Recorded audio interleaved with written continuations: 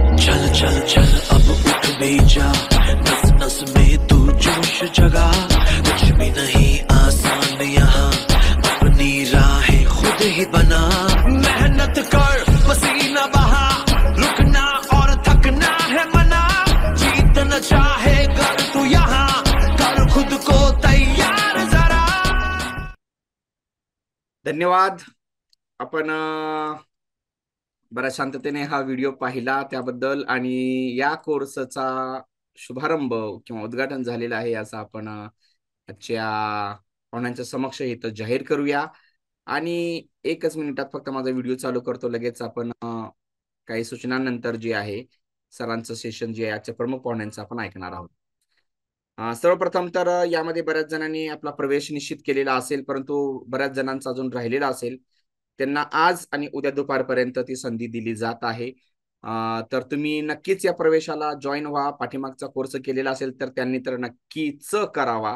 कारण त्याचा उत्तरार्ध आणि जे नवीन लोक जॉईन होणार आहेत त्यांना जुन्या दहा व्हिडिओचा जो माझा कोर्स आहे तो त्याची लिंक सुद्धा मी देणार आहे. ओके त्यामुळे शेवटचे दहा ते पंधरा दिवस राहिलेले आहेत आपल्याला व्हिडिओ बनवण्यासाठी. महाराष्ट्र शासनाच्या स्पर्धेत तर सहभाग व्हायचा आहे परंतु आपल्यासाठी दुय्यम आहे.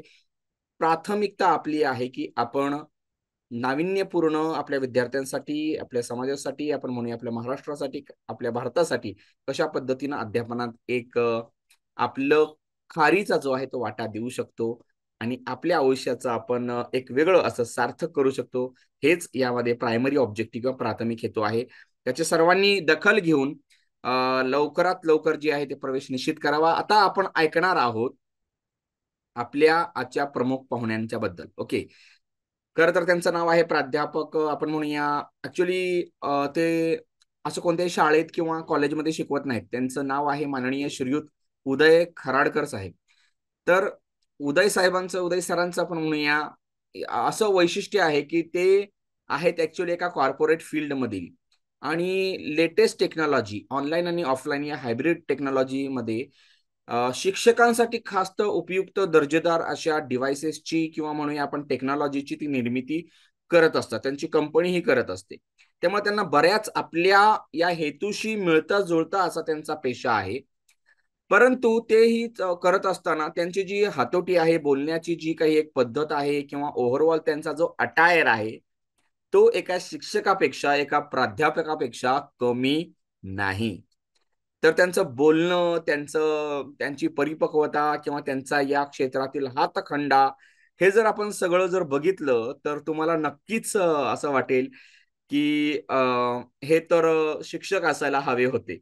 परंतु शिक्षकांसाठी म्हणूनच त्यांनी हा पेशा निवडलेला आहे असं आपण समजूया. त्यामुळं या पेशाशी निगडीत असणारा त्यांचा व्यवसाय शिक्षकासारखंच त्यांचं बोलणं राहणं वागणं चालणं बठणं बसणं उठणं. अगदी आपण म्हणूया नाही का हसणं आणि रुसणं असं या सगळ्या गोष्टी जशा काही शिक्षकाच्या असतात तशाच त्यांच्याही आहेत. अशा उदय खराडकर सरांचं एक सेशन मला असं वाटतं की दुसऱ्या किंवा पहिल्या वर्धापन दिनानिमित्त आपण त्यांना बोलवलेलं होतं. तर आणि एका कोर्सच्या समारोपाला सुद्धा ते आले होते. आपले व्हिडिओज आपण त्यांना त्यांनी दाखवलं होतं. ते खूप त्या ठिकाणी अचंबित झाले होते. परंतु त्यानंतर खूपच पुलाखालून पाणी वाहून गेलं किंवा वरून पाणी वाहून गेलं असं आपण म्हणूया. बऱ्याच इनोव्हेशन्स आपण शिकलो शिकवलं. आणि त्याचाच पुढचा घाट आपण आजपासून घालतोय. आज उद्घाटन होईल सरांचं सेशन झाल्यानंतर. उद्या आपला डे वन असेल. डे वन अगोदरच सुरुवातीलाच प्रवेश ज्यांचे राहिलेले असतील त्यांनी निश्चित करावा अशी विनंती करतो. कारण मुख्य प्रवाहात आपण सामावून जावं तुमची माझी सोबत कायम राहावी आपला स्नेहबद्ध वृद्धिंगत राहावा ही माफक अपेक्षेनं मी तुम्हाला ही परत परत साध घालत आहे. असो आता यानंतर आपण सरांचा व्हिडिओ आपण चालू करून थोडासा परिचय किंवा आपण म्हणूया त्यांचा जो काही इंट्रो आहे एक दोन मिनिटाचा आजच्या सेशन बद्दलचा ते देतील. त्यानंतर आपण स्क्रीन शेअर करूया.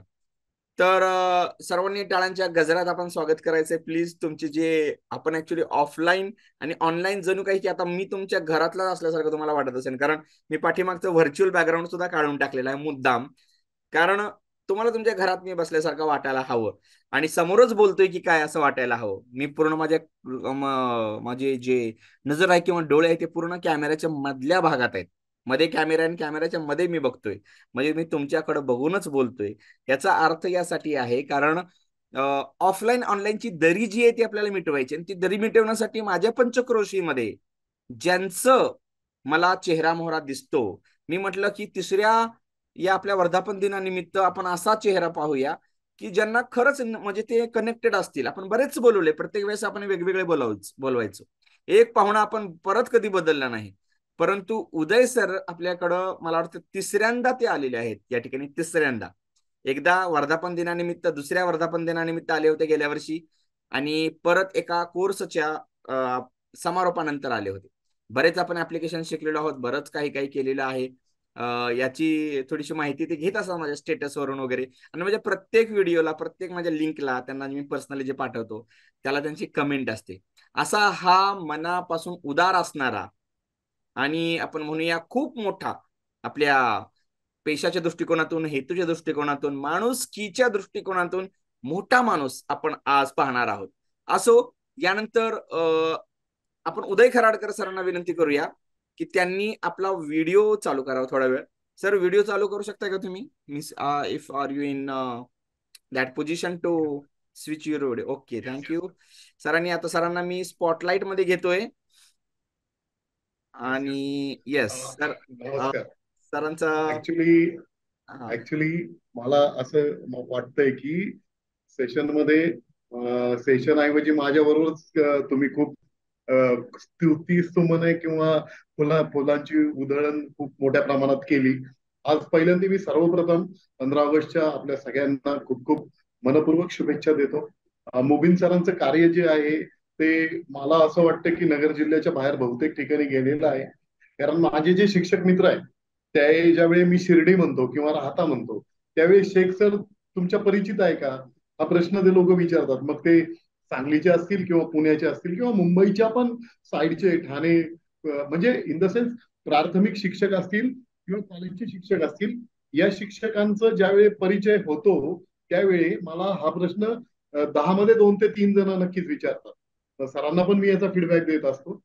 आता ऍक्च्युली मी थोडक्यामध्ये माहिती देतो आणि बोलायला सुरुवात करतो. मी स्वतः बीसीए कडे जवळजवळ बारा वर्ष ऍज अ टीचर म्हणून रय शिक्षण संस्थेमध्ये काम केलं. एक पाच वर्षापूर्वी असं वाटलं की एज्युकेशन पॉलिसीमध्ये जे टेक्निकल आणि टेक्नॉलॉजीचा वापर केला जातो ऍक्च्युली तर तो फक्त कम्प्युटर म्हटल्यानंतर टेक्नॉलॉजी असं काहीतरी त्याचं समीकरण केलं गेलं. म्हणजे सात वर्षापूर्वी आठ वर्षापूर्वी आता जशी इंटरनेटची सुविधा होती तशी नव्हती. त्याच्यामध्ये बऱ्यापैकी म्हणजे वीक सिग्नल्स किंवा टॉवर्स नसणं अशा अनेक गोष्टींचा सामना त्यावेळी शिक्षकांना आणि इतर ऑर्गनायझेशनला करावा लागत होता. तर मग त्या दरम्यान आम्ही अमेरिकेमध्ये जे काही रासबेरी पाय ऑरेंज पाय बनाना पाय हे जे कम्प्युटर बोर्ड आहेत तर हे बोर्डचा वापर करून प्रायमरीच्या मुलांना ट्रान्झिस्टर रेजिस्टर कॅपॅसिटर ही संकल्पना समजवण्यासाठी हे बोर्ड्स आम्ही इथे आणले नगर जिल्ह्यामध्ये. म्हणजे महाराष्ट्रामध्ये आपण पहिल्यांदा हे बोर्ड जिल्हा परिषदेच्या शाळा असतील उदाहरणार्थ नेवासा किंवा छोट्या छोट्या गाव जे आहेत तालुका प्लेस असतील त्या ठिकाणी आपण ते दिले. नंतर दुसरी समस्या अशी लक्षात आली की इंटरनेटचं म्हणजे वरतून खूप मोठे आदेश होतात की तुम्ही ऑनलाईन करा ऑनलाईन करा. परंतु ग्रामीण भागामध्ये जे आहेत शाळा कॉलेजेस या लोकांना इंटरनेटचं रेंज काय? इंटरनेटचा एक सिग्नल एक ज्याला म्हणतात ग्रामीण भाषेमध्ये एक काडी सुद्धा मिळत नाही. मग अशा ठिकाणी हे लोक ऑनलाईन कसे जाणार? बरोबर? आणि दुसरी महत्वाची गोष्ट की शहरी भागातले जे शिक्षक आहे त्यांनी बऱ्यापैकी त्यांचा जो सिलेबस आहे हा अँड्रॉइडमध्ये वेगवेगळ्या ऍप्लिकेशनच्या माध्यमातून त्यांनी इंटरप्ट करतो सर छान चालू म्हणजे तो आवाज वगैरे चांगला येतोय. फक्त थोडस कॅमेरा तुम्ही असं खाली घेता का तुमचा? म्हणजे पूर्ण थोडं जरा असं येईल. इट्स ओके तर याचा जो परिणाम आहे की ग्रामीण भागातल्या शिक्षकांना जे शहरी भागामध्ये केलेले कंटेंट जे शिक्षकांनी तयार केलेले आहेत ते दिसत नव्हते किंवा त्याचा वापर किंवा त्या विद्यार्थ्यांसाठी खऱ्या अर्थाने होत नव्हता. मग आता त्यानंतर जिल्हा परिषद शाळा असतील शिक्षण संस्था असतील यांनी मात्र बऱ्याच प्रयत्नांती आता कुठेतरी काही भागांमध्ये इंटरनेटचं बऱ्यापैकी प्रसारण किंवा सिग्नल्स मिळायला लागले. मग त्या अर्थाने आता कुठे जिल्हा परिषदेच्या शाळा काही प्रमाणात खेडेगावातल्या आता ऑनलाईन सिलेबस म्हणजे सब्जेक्ट ओरिएंटेड अशा पद्धतीचं काम सुरुवात केलेली आहे. पण तरी सुद्धा पुढचा प्रश्न राहतो की ज्यावेळी आपण डिजिटल टेक्नॉलॉजी वापरणार आहोत वापरतोय त्यावेळी त्याला फंडिंग एक मोठा अडचण येते. म्हणजे ग्रामीण भागामध्ये ती आहे. म्हणजे बऱ्याच वेळा आपण बघतो की आमदार निधीतून खासदार निधीतून शाळा कॉलेजेसला टेलिव्हिजन दिले जातात टीव्ही दिले जातात. बऱ्याच शाळांमध्ये ते अँड्रॉइड बेस्ड नसतात साधे टीव्ही असतात. किंवा मग बऱ्याच ठिकाणी असं पण निदर्शनाला येतं की प्रोजेक्टर्स दिले जातात. किंवा शाळा काहीतरी फंडिंग करून कुठले प्रोजेक्टर्स आणते किंवा त्यांची घेण्याची इच्छा नसते पण त्यांच्या किमती खूप असतात. त्याच्यामुळे त्यांना ते परचेस करता येत नाही. या सगळ्यांचा अभ्यास म्हणजे माझं जे काम आहे ते असं आहे की यामध्ये शिक्षण संस्थांना कमीत कमी किमतीमध्ये अद्यावत टेक्नॉलॉजी आपल्याला कशी देता येईल? उदाहरणार्थ कोरोनाच्या काळाच्या आधीपासूनच आम्ही ऍक्च्युली याचा वापर ते करत होतो. परंतु सगळ्यात महत्त्वाचा पुढचा प्रश्न असा आला की जिल्हा परिषदेचे किंवा ग्रामीण भागातल्या शाळांचे ऍडमिशन आहेत हे खासगी शाळांकडे व्हायला लागले. याचं जे मेन कारण आहे त्याचं मेन कारण म्हणजे की भव्य दिव्यता. हे मान्यच करावं लागणार आहे आपल्याला. की जे खाजगी ऑर्गनायझेशन खाजगी संस्था प्रायव्हेट संस्था या इन्व्हेस्ट करू शकतात. त्या पद्धतीची इन्व्हेस्टमेंट जिल्हा परिषदेच्या शाळा किंवा विकर एज्युकेशन सोसायटी करू नाही शकत. परंतु एज्युकेशन क्वालिटी देण्यासाठी आपल्याला जर ऑनलाईन सोबत ऑफलाईन अशा पद्धतीने जर दोघांचं इंटरॅक्शन केलं तर नक्कीच आपल्या विद्यार्थ्यांना आपल्याला प्रभावीपणे शिक्षण देत किंवा दोघांचाही वापर करून आपल्याला आपल्या मनासारखं शिक्षण आपल्याला जे द्यायचं आहे ते विद्यार्थ्यांना आपण देऊ शकतो. मग याचाच वापर करून किंवा हेच उद्देश डोळ्यासमोर ठेवून आम्ही शाळांमध्ये कॉलेजेसमध्ये असलेले किंवा व्यक्तिगत खाजगी क्लासेसमध्ये असलेले जे डिव्हाइसेस आहेत त्यांना अपग्रेड करण्याचा प्लॅन पहिल्यांदा आणला. ओके तर मग हा अपग्रेड करण्याचा प्लॅन म्हणजे काय? थोडक्यामध्ये तुम्ही आपण ज्या शाळांमध्ये प्रोजेक्टर आहेत की जे साधे प्रोजेक्टर आहे. त्याला तुम्हाला सीपीयू जोडावा लागतो. तर सीपीयू जोडल्यानंतर परत प्रश्न येतो कंटेंटचा पेन ड्राईव्हमध्ये ते content in the sense poem असेल किंवा काही पिक्चर्स असतील हिस्टॉरिकल इन्फॉर्मेशन असेल ती कलेक्ट करावी लागते. त्यासाठी वेळ मिळायला पाहिजे. आणि अँड्रॉइडमध्ये तर उलटच आहे. अँड्रॉइडमध्ये शिक्षकांनी स्वतःचे कंटेंट तयार करून टाकलेले आहेत. किंवा एज्युकेशनच्या बऱ्याच पॉलिसी अंतर्गत बऱ्याच म्हणजे वेग विभागामध्ये नाशिक विभाग असेल पुणे विभाग असेल शिक्षण प्रसारक मंडळ असतील यांनी यांचे कंटेंट अँड्रॉइडमध्ये टाकलेले आहे. फक्त ते शिक्षकांनी वेचून आपल्या विद्यार्थ्यांना द्यायचे म्हणजे एक पॉईम आहे ती पंधरा वीस जणांच्या ग्रुपने टाकलेली. त्यातली चांगली कुठली बेटर कुठली हे शिक्षकांनी शोधायचे आणि ती आणि तेवढी पोएम विद्यार्थ्यांना दाखवायची हे काम डिजिटलमध्ये करता येईल. मग आता प्रश्न असा येतो की साधं प्रोजेक्टर आहे कुठेतरी साधा सीपीयू आहे आणि त्याच्यामध्ये असलेलं पहिलं कंटेंट डाउनलोड करून घ्यायचं आहे. ते पण विंडोज बेस्ड असलेल्या कम्प्युटरमध्ये करायचं. मग त्याऐवजी आपण या शाळांना या कॉलेजेसला अँड्रॉइड बॉक्स दाखवलेला आहे. मी असं करतो माझा स्क्रीन शेअर करतो. म्हणजे एक छोटीशी पीपीटी आहे. त्या माध्यमातून आपण लवकरात लवकर याचा फॉलोअप घेऊ असं मला वाटतं मुबीन सर बरोबर? चालतंय. हो हो हो. आता परमिशन दिलेली आहे मी तुम्हाला. स्क्रीन शेअर करू शकता.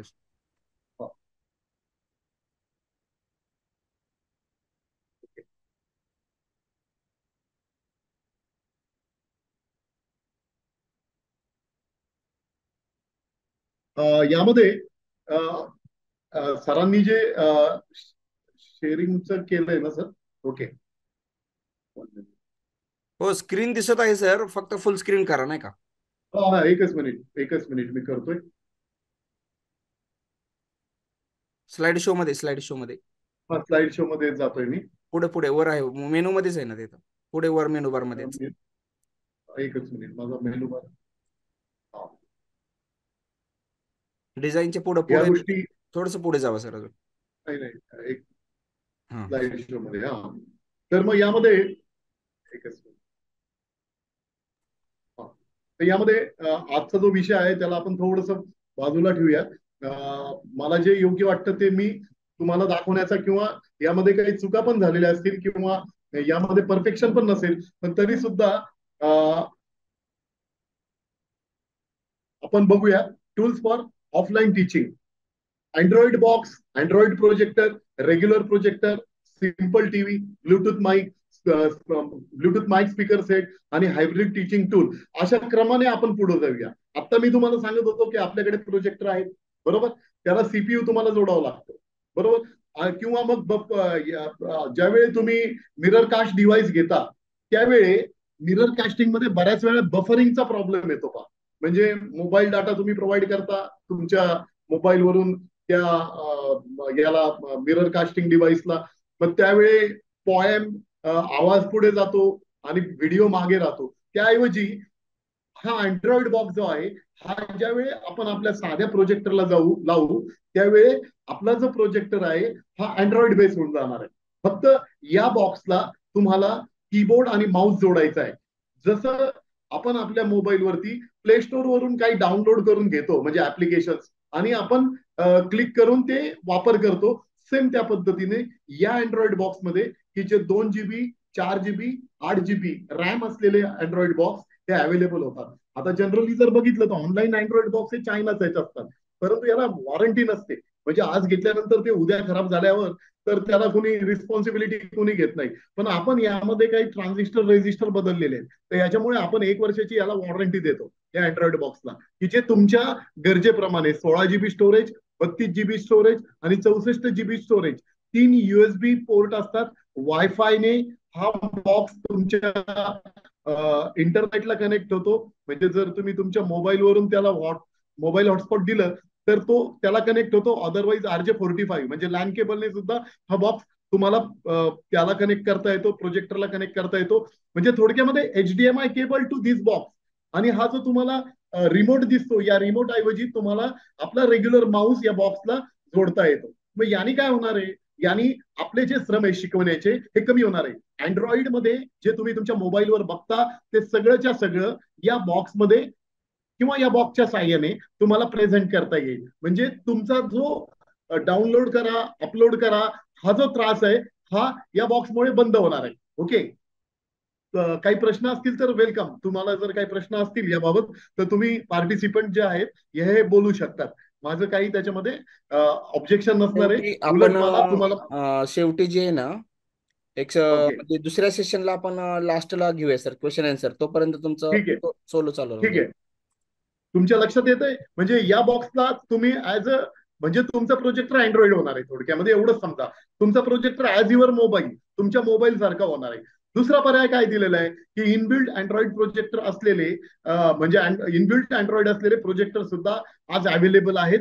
परंतु याचा एक ड्रॉबॅक असा असतो की याचा ब्राईटनेस आहे याच्या ल्युमेन्स आहे हे एलईडी असतात. त्याच्यामुळे ते कमी असतात. म्हणजे बाराशे पंधराशे आपला जो रेग्युलर प्रोजेक्टर असतो जे जे तुमच्या शाळेमध्ये आहे तो तेहतीसशे लुमियन्स असेल छत्तीसशे लुमियन्स असेल किंवा तीन हजार लुमियन्स पर्यंत ठीक आहे की जो डे नाईट प्रोजेक्टर म्हणतात.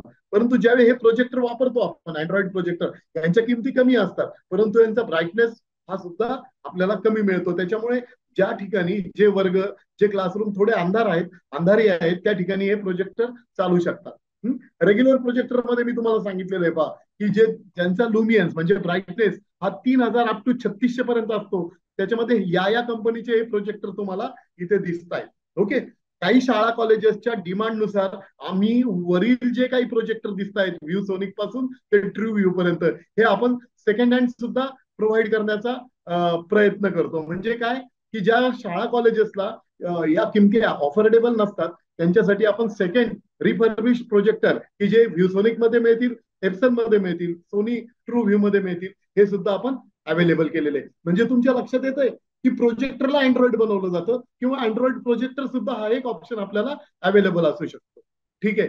नॉर्मल रेग्युलर टीव्ही आता बऱ्याच स्कूल कॉलेजेसमध्ये साधे टीव्ही प्रेझेंट दिलेले असतात पहा. की जे ज्याच्यामध्ये तुम्हाला पेन ड्राईव्ह पण जोडण्याची सुविधा नसते किंवा असू शकते पण ते अँड्रॉइड बेस नसतात.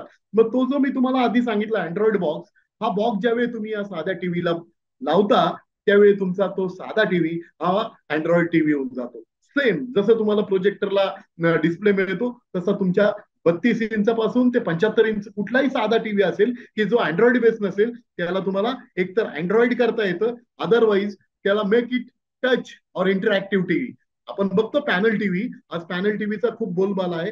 प्रायव्हेट शिक्षण संस्थेमध्ये वेगवेगळ्या पॅनल टीव्ही आलेले आहेत. दुसरी गोष्ट चायनाचे सुद्धा काही पॅनल टीव्ही आहेत. त्यांच्या किमती कमी आहेत. परंतु त्याच्यामध्ये रिस्क एवढीच आहे की हे काही नावाजलेले ब्रँडेड टीव्ही सोडून जर आपण या टीव्हीच्या सोबत गेलो आणि उद्या काही त्या टीव्हीच्या स्पेअरमध्ये काही प्रॉब्लेम आला खराबी आली तर ते मार्केटमध्ये ते स्पेअर मिळतील याची शुअरिटी कुणीही देऊ शकत नाही. मग आता तुम्ही म्हणाल की टच स्क्रीन किंवा इंटरॅक्टिव्ह टीव्ही किंवा पॅनल टीव्ही मध्ये कुठल्या कंपन्या आहेत कुठल्या ब्रँड आहेत तर तुम्हाला मी सांगेल की मॅक्सअप व्ह्यू सोनिक किंवा ट्रू व्ह्यू हे कंपन्या एक बऱ्यापैकी ब्रँडेड कंपन्या आहेत. यांचा जर वापर केला तर आपल्याला नक्कीच याचं चांगल्या पद्धतीचं पैशाचं आउटपुट मिळू शकतं. त्यानंतर आपण बघू की ऑफलाईन टीचिंगमध्ये तुम्ही जनरली जे वर्गांमध्ये वापरलं जातं उदाहरणार्थ तुम्ही असं इमॅजिन करा की तुम्ही तुमचा एक साधा प्रोजेक्टर आहे किंवा एक साधा टीव्ही आहे.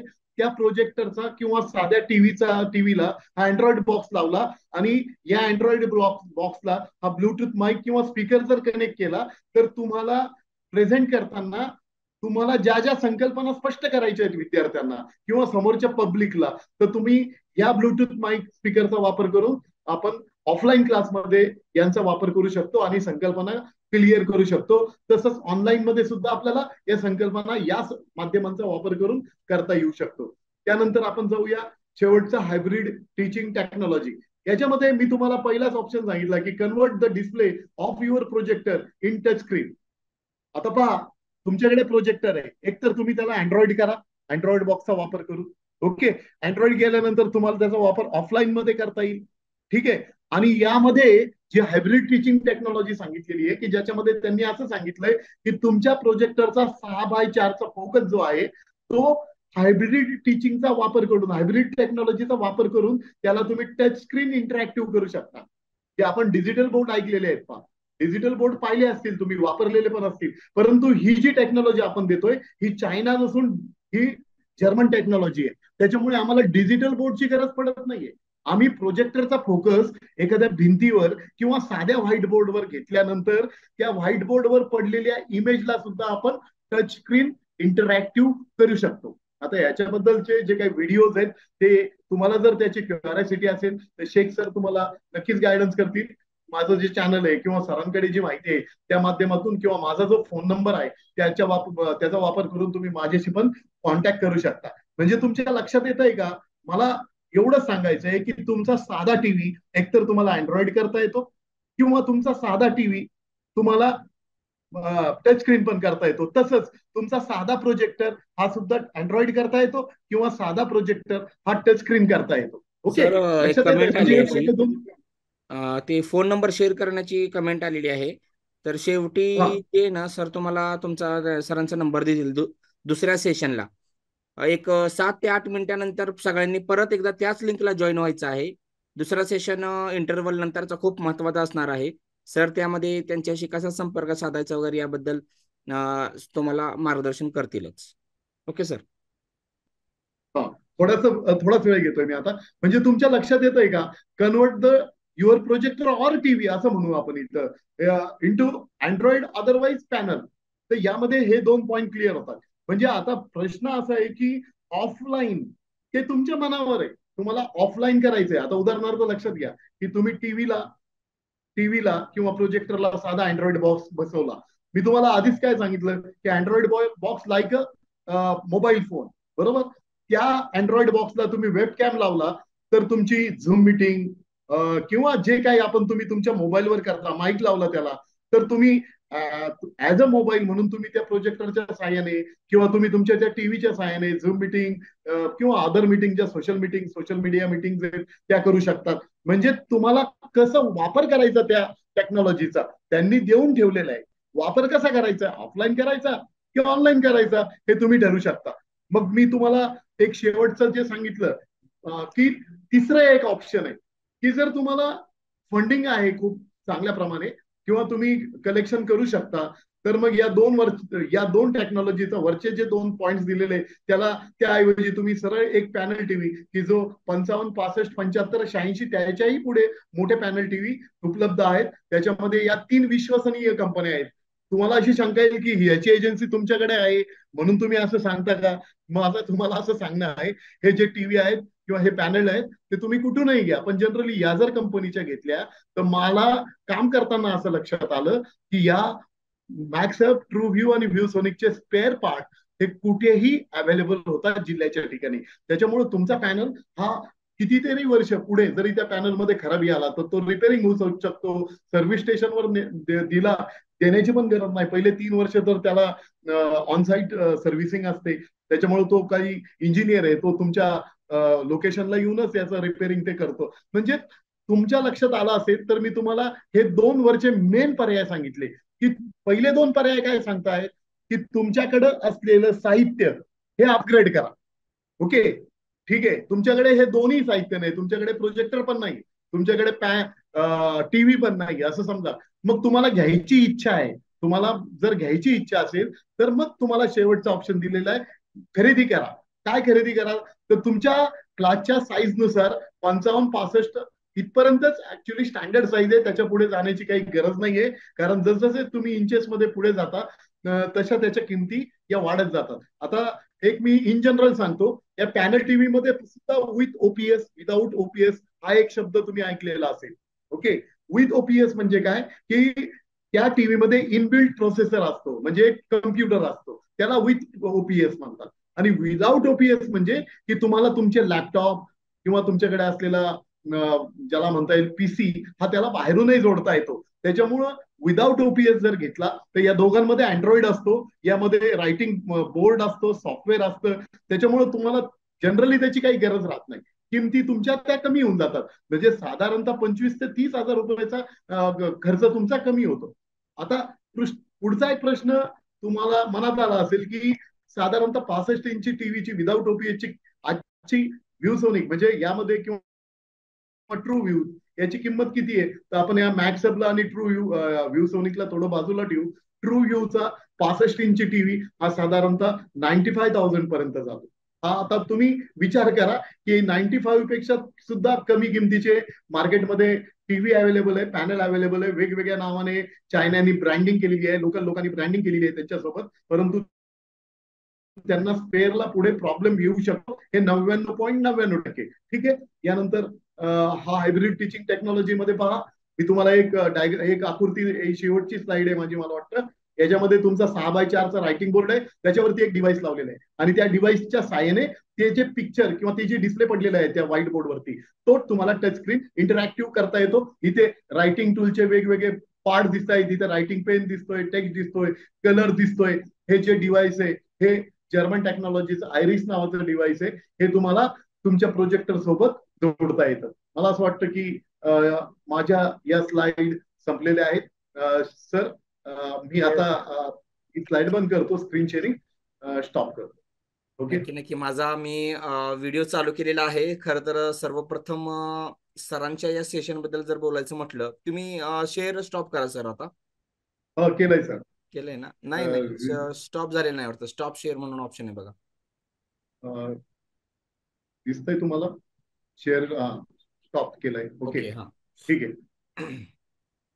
ऍक्च्युली तुम्हाला सर्वांना सांगायचं म्हटलं एका शब्दात. तर अप्रतिम किंवा अविश्वसनीय म्हणेन मी. अविश्वसनीय यासाठी कारण मला खरंच विश्वास बसत नाही की हे सगळे मुद्दे त्यांना जे सांगायचे होते त्यांनी ते कव्हर केले. अगदी कमी वेळेत. आणि पूर्व सूचना कमी वेळेत म्हणजे मला सांगायचे कमी वेळेचा अर्थ असा आहे की आज माझं झेंडावंदन झाल्यानंतर कॉलेजवर येताना मी सरांना फोन केला की आज आपला असा असा वर्धापन दिन आहे. पुन्हा एकदा दुसऱ्या वर्धापन दिनाला तुम्ही आला होता. तिसऱ्यालाही तुमची आमची तुम्हाला आमची म्हणजे तुमची आम्हाला गरज आहे. आणि तुम्ही काय करा तो तुमचा बहुमोल वेळ द्या. अर्धा तास तुम्हाला वेळ देण्यात येईल त्यावेळेस तुम्ही तो बोला. आणि सरांनी म्हटलं की मला पीपीटी तुमच्यासारखी वगैरे जमणार नाही तुम्ही पीपीटी मॅन वगैरे. मी म्हटलं कंटेंट जास्त इथं महत्वाचं आहे मेथडसाठी मी काम करतोय आणि कंटेंटसाठी तुम्ही काम करा आणि सरांनी जो कंटेंट आहे पीपीटी सुद्धा सिंपल बट स्वीट आपण म्हणूया किंवा शॉर्ट बट स्वीट अशा पद्धतीचं प्रेझेंटेशन त्यांचं जे काही हे होतं एक्सप्रेशन्स होते ते त्याला त्या स्लाइडला एक्सप्रेस केलं आणि सगळे पॉईंट त्यांनी कव्हर केले. जवळजवळ मला वाटतं आठ ते दहा वेगवेगळ्या ऑप्शन्स आणि अल्टरनेटिव्हचा त्यांनी इथं विचार आपल्याला दिला. आता एका मिनिटानंतर सगळ्यांनी परत पुन्हा सगळ्यांना विनंती करतोय. त्याच लिंकला जॉईन व्हावा विनंती करतोय. सर सर असणार आहेत पुढच्या सेशनला आणि सरांना विनंती करतो. त्यानंतर माझी आपली काही थोडीशी चर्चा होणार आहे त्यानंतर. सर सरांचा म्हणजे आपण निरोप घेतल्यानंतर. त्यामुळे पुढच्या सेशन नंतर सर्वांनी म्हणजे या सेशन नंतर आता एका मिनिटानंतर सर्वांनी लगेच जॉईन व्हा. त्याच लिंकला जॉईन करून जॉईन व्हा. त्यामध्ये आपण प्रश्नोत्तर घेणार आहोत. त्यानंतर सरांचा आपण नंबर शेअर करणार आहे. आणि त्यानंतर मी महत्त्वाच्या काही सूचना तुम्हाला देणार आहे. आणि तुम्हाला सरां सरा तुम्हाला सरांवर म्हणजे सरांना विचारण्यात येणारे प्रश्न आणि मला अशा पद्धतीचं आपण एक पुढचं सेशन घेणार आहोत. तर सर्वांची या सेशनमध्ये मी नमस्कार. पुन्हा एकदा दुसऱ्या सेशनमध्ये आपल्या सर्वांचं सहर्ष आणि हार्दिक स्वागत आहे. सरांचं जे आपण म्हणून तात्विक एक व्याख्यान झालेलं आहे या ठिकाणी थेरॉटिकल स्लाइडच्या माध्यमातून. आता ते आपल्याला थोडंसं काही प्रात्यक्षिक म्हणजे प्रात्यक्षिक प्रात्यक्षिक करून दाखवणार असं म्हणण्यापेक्षा काही डिव्हायसेसचं यामध्ये तुम्हाला थोडेसे परिचय करून देणार आहेत तरी तो आपण शांतचित्ताने पहिल्यासारखंच ऐकूया. आणि त्यानंतर आपण तुमचे प्रश्न घेणार आहोत लगेच. येस आपण थोडक्यामध्ये थोड्या फार प्रमाणात माहिती घेऊया. ज्यावेळी आपण शाळेच्या ठिकाणी कॉलेजच्या ठिकाणी किंवा ट्युशनच्या ठिकाणी जातो त्यावेळी बऱ्याच वेळा आपल्याकडे आतापर्यंतची एक ट्रॅडिशनल पद्धत होती. एक बॅग होती. बॅगमध्ये चॉप डस्टर आपल्या जुन्या नोट्स की ज्या अपडेट केल्या जातात किंवा ऍज इट इजही वापरल्या जातात. हे सगळ्यांना माहिती आहे. तर तसंच आता शाळांमध्ये जे अँड्रॉइड फोन आता बऱ्यापैकी शिक्षकांकडे होते. परंतु काही वर्षापूर्वी हे फोन नव्हते. जसं मी तुम्हाला सांगितलं की आम्ही आम्ही साधे टीव्ही किंवा मॉनिटर्समध्ये की यांना जर अँड्रॉइड सिस्टीम लावायची. तर यासाठी हा एक बॉक्स तुम्ही बघताय की हा यामध्ये मदरबोर्ड आहे. साधारणतः याला बना ऑरेंज पाय असं म्हणतात. हा जर बघितला हा तुमच्या एटीएमच्या आकाराचा सीपीयू आहे. ओके हा सीपीयू पहिल्यांदा आम्ही संजीवनी इंजिनिअरिंग कॉलेजमध्ये दिले. की याच्यामध्ये वेगवेगळ्या जसं कम्युनिटी जसं विंडोज ऑपरेटिंग वापरणारे आहेत मॅक ओएस वापरणारे आहेत अँड्रॉइड ओएस वापरणारे आहेत तसे रेड हॅट लिनक्स किंवा अँड्रॉइड ऑपरेटिंग सिस्टीम वापरण्यासाठी हा ऑरेंज पाय नावाचा बॉक्स आम्ही दिलाय. जर तुम्ही बघितलं तर सगळ्या प्रकारच्या पोर्ट अवेलेबिलिटी या बॉक्सला दिलेल्या आहेत. आणि विशेष म्हणजे हे जे कव्हर जे आहे हे आम्ही श्रीरामपूरमध्ये डिझाईन केलेलं आहे. या बोर्ड या बॉक्सला सुरक्षितता आणण्यासाठी वरती एक फॅन दिलेला आहे. प्रोसेसर गरम होऊ नये म्हणून. तर थोडक्यात हा बॉक्स पहिल्यांदा आम्ही टीव्हीला किंवा प्रोजेक्टरला जोडायचं. की ज्याच्यामध्ये Red and Linux Linux operating system सगळीकडे वापरली जाते. आपल्याला माहिती आहे की व्हायरस होत नसलेली ऑपरेटिंग सिस्टीम म्हणजे लिनक्स मग कोर्टमध्ये असेल कचेरीमध्ये असेल आजकाल लिनक्स वापरली जाते. बरोबर? तुमच्यापैकी बऱ्याच जणांना माहिती असेल. ती लिनक्स ऑपरेटिंग सिस्टीम या बॉक्स वरती चालते. त्यासाठी मला हे दाखवणं तुम्हाला गरजेचं होतं. त्यानंतर मी तुम्हाला अँड्रॉइड टीव्ही बॉक्स सांगितलेला होता. हे अँड्रॉइड टीव्ही बॉक्स आहे. तर याच्यामध्ये ज्या पोर्ट अवेलेबिलिटी सर दिसतंय तुम्हाला? या पोर्ट अवेलेबिलिटी आहेत. हो, हो. या या पद्धतीने. आता इथे दिसतंय तुम्हाला दोन युएसबी आहे. म्हणजे इथे तुम्हाला कीबोर्ड माऊस जोडता येईल. इथे तुमचं एचडी कार्ड म्हणजे मेमरी कार्ड तुम्हाला जोडता येईल. त्याच पद्धतीने इथे एचडीएमआय केबल स्लॉट दिलेला आहे. इथे लॅन केबल पोर्ट दिलेला आहे. ओके आणि इथं ऑक्स दिलेला आहे. म्हणजे तुमचं जे ऑक्स म्हणजे इन द सेन्स माईक किंवा काय जे आहे ते जोडण्यासाठी त्यांनी इथं पोर्ट दिलेलं आहे. आणि हा पॉवर पॉवर पोर्ट दिलेला आहे. पाच वॅट वरून हा बॉक्स चालतो. ओके याच्यामधले आम्ही काही ट्रान्झिस्टर रेजिस्टर बदलले. त्याच्यामुळं आम्ही हे या बॉक्सची वॉरंटी एक वर्षाची देतो. ओके हा बॉक्स किती मोठा आहे हे तुमच्या लक्षात येत आहे म्हणजे माझ्या पॉकेटमध्ये सुद्धा मी घालून जाऊ शकतो. थोडक्यामध्ये पॉकेटमध्ये थोडासा कमी पडतो तो पण पॉकेटच्या साईजचा हा बॉक्स आहे. ओके तर हा एक बॉक्स मला तुम्हाला दाखवणं गरजेचं आहे. हा तुम्हाला टीव्हीला जोडून तुमचा टीव्ही अँड्रॉइड करता येतो. ओके जे टीव्ही अँड्रॉइड आहे त्याला जोडण्याची गरज नाहीये. तुमच्या साध्या प्रोजेक्टरला जोडलं तर तुमचा प्रोजेक्टर हा अँड्रॉइड होतो. ओके अशा बऱ्याच जिल्हा परिषदेच्या शाळा म्हणजे मला सांगायला चांगलं वाटेल की संगमनेरच्या जवळजवळ नऊ नगरपालिका शाळा आम्ही अँड्रॉइड बेस या माध्यमातून केले अँड्रॉइड प्रोजेक्टर देऊन केले. त्यानंतर एक पुढची गोष्ट दाखवतोय की हे जे सीपीयू आहेत आज आपण बघतोय की हे टायनी सीपीयू आहे याचं सरांना एक कॉन्फिगरेशन मी सांगेल. Four i five six generation आठ जीबी डीडीआर फोर रॅम दोनशे छप्पन्न जीबी एस एस डी दिलेली आहे. तर हा सीपीयू सिक्स्टी फाईव्ह वॅट वरून चालतो. एक इंच म्हणजे आपला एक विथ एवढा हा आहे. आणि साधारणतः तीन बोट किंवा दोन बोट इतक्या जाडीचा हा बॉक्स आहे. हा हा सीपीयू आहे. बरोबर? याआधी आपण सीपीयू मोठे मोठे डबे बघितलेले होते.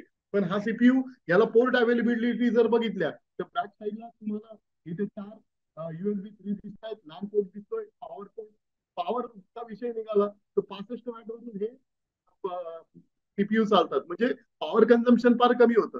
त्याच पद्धतीने व्हीजीए दिलेलं आहे त्यानंतर एचडीएमआय दिलेला आहे डीपी दिलेला आहे ते सगळ्या पोर्ट्स अवेलेबिलिटी दिलेले आहेत. मला सांगायला आनंद वाटेल की हे बॉक्सेस आम्ही संजीवनी कॉलेजला दिलेत. प्रवराय प्रवरेच्या सगळ्या स्कूल कॉलेजेसला हे आम्ही देतोय जवळजवळ सातशे ते आठशे हे सीपीयूज दिलेले आहेत. म्हणजे या टेक्नॉलॉजीचा वापर केला. आमच्या नावामध्येच परम नॅनो मोठ्यापासून छोट्यापर्यंत. मोठे वापरण्याची गरज नाहीये. तेवढंच आणि त्याच पद्धतीचं किंवा त्याच्याही पेक्षा जास्त चांगल्या पद्धतीचं आउटपुट तुम्हाला छोटे छोटे डिव्हाइसेस वापरून मिळतील. ओके आता हे रिफर्बिश आहे. म्हणजे काय? की याच्यामध्ये हे आपण कंपनीचे आय टी कंपन्याकडून घेतलेले बॉक्सेस असतात. याला एक वर्षाची वॉरंटी दिली जाते. विंडोज लायसन्स याच्यामध्ये असते. विंडोज टेन प्रो मग तुम्ही मला सांगा की एवढे मोठे डबे एवढे मोठे सीपीयू वापरण्याची आज गरज आहे का? नाही. आणि हायब्रिड टीचिंग टेक्नॉलॉजीच्या बाबतीत आम्ही संजीवनीमध्ये जवळजवळ बारा इंजिनिअरिंग क्लासरूम्स ज्याला म्हणता येईल की हायब्रिड टीचिंगमध्ये कन्वर्ट केलेले आहेत बारामतीचं जर उदाहरण घेतलं तर शरद पवार साहेबांचं जे व्हीपी कॉलेज विद्या प्रतिष्ठान संस्था आहे तिथे कॉमर्स कॉलेज आम्ही केलेले आहेत परभणीमध्ये केलेले आहेत वेगवेगळ्या सर्व दूर आमच्या भागातल्या सर्व ठिकाणी आम्ही या सगळ्या गोष्टींचा वापर करतो. धन्यवाद. मला हे सांगायचं होतं. मी माझा आता व्हिडिओ स्टॉप करतो. थँक्यू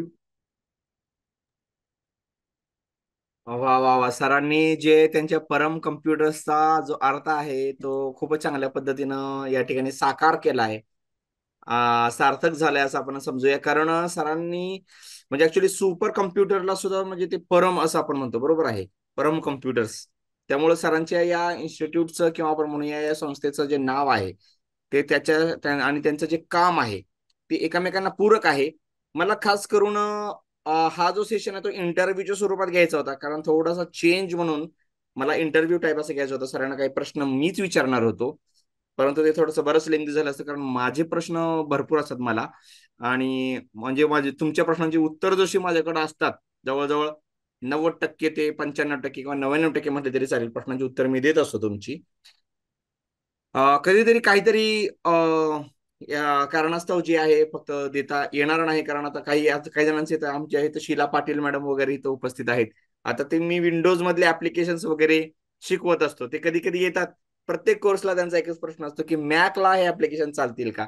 तर अशा वेळेला मात्र जे आहे ते अजूनही मी तो प्रश्न सोडवू शकलो नाही. टू बी व्हेरी फ्रँक परंतु बाकीचे सगळेच सगळ्यांचेच डाऊट्स कारण आपले डाऊट सहा सात आठ तासापर्यंत चालत असतात. तुम्हाला माहितीच आहे. एकच तास आपल्याला सरांना सांगायला मला आवडेल की साडेआठ ते साडे नऊ हे एकच तास आमचा सेशन असतो. परंतु त्यानंतर डाऊट सॉल्विंग सेशन जवळजवळ कधी कधी दोन तीन वाजेपर्यंत चाललेले आहेत. थोडस त्याला कमी करून आम्ही त्याला एक फिल्टर घातलेला आहे बारा वाजेपर्यंत. जास्तीत जास्त मी बारा वाजेपर्यंत प्रश्न सोडवीन असं मी सगळ्यांना सांगितलेलं आहे. त्यातही बरेच होऊन जातात प्रॉब्लेम्स क्लिअर दुसरी गोष्ट म्हणजे आम्ही मुद्दाम पेड व्हर्जन घेतलेलं नाहीये झूमचं कारण तो वेळेला आळा राहतो माझ्याच. आणि तुमच्या सुद्धा.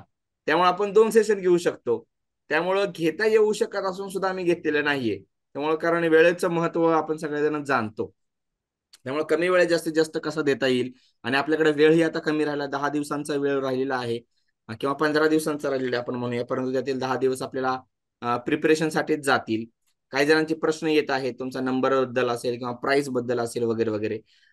तरी अगोदर माझे प्रश्न मी उरकून घेतो. सरांनी आता बरेच जणांना प्रश्न असतील. सर्वांनी प्रश्न विचारावेत. प्रश्न विचारणाऱ्याला खास इथं महत्त्व दिलं जाणार आहे.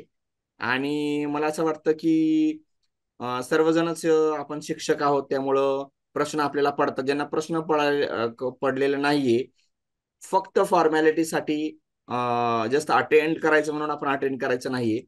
त्याचा वापर झाला पाहिजे आणि बाकीच्या सगळ्या गोष्टी आपल्याला माहीत व्हायला हव्यात.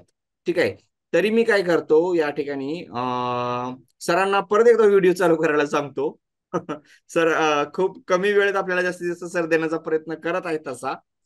परंतु आपण मात्र त्यांना लवकर सोडणार नाहीये. आता हा पूर्ण सेशन मला वाटतं प्रश्नोत्तरामध्ये आपण घेऊयात त्यांच्यासाठी. सरांना अशी विनंती करतो की त्यांनी आपला व्हिडिओ चालू करावा.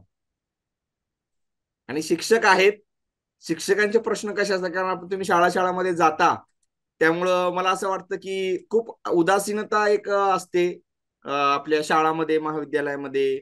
शिक्षक आता मी माझ्या शाळेमध्ये म्हणजे तीन वर्षापूर्वी काहीतरी सर आले होते. त्यावेळेला सरांनी तिथून सुद्धा बघितलेलं असेल.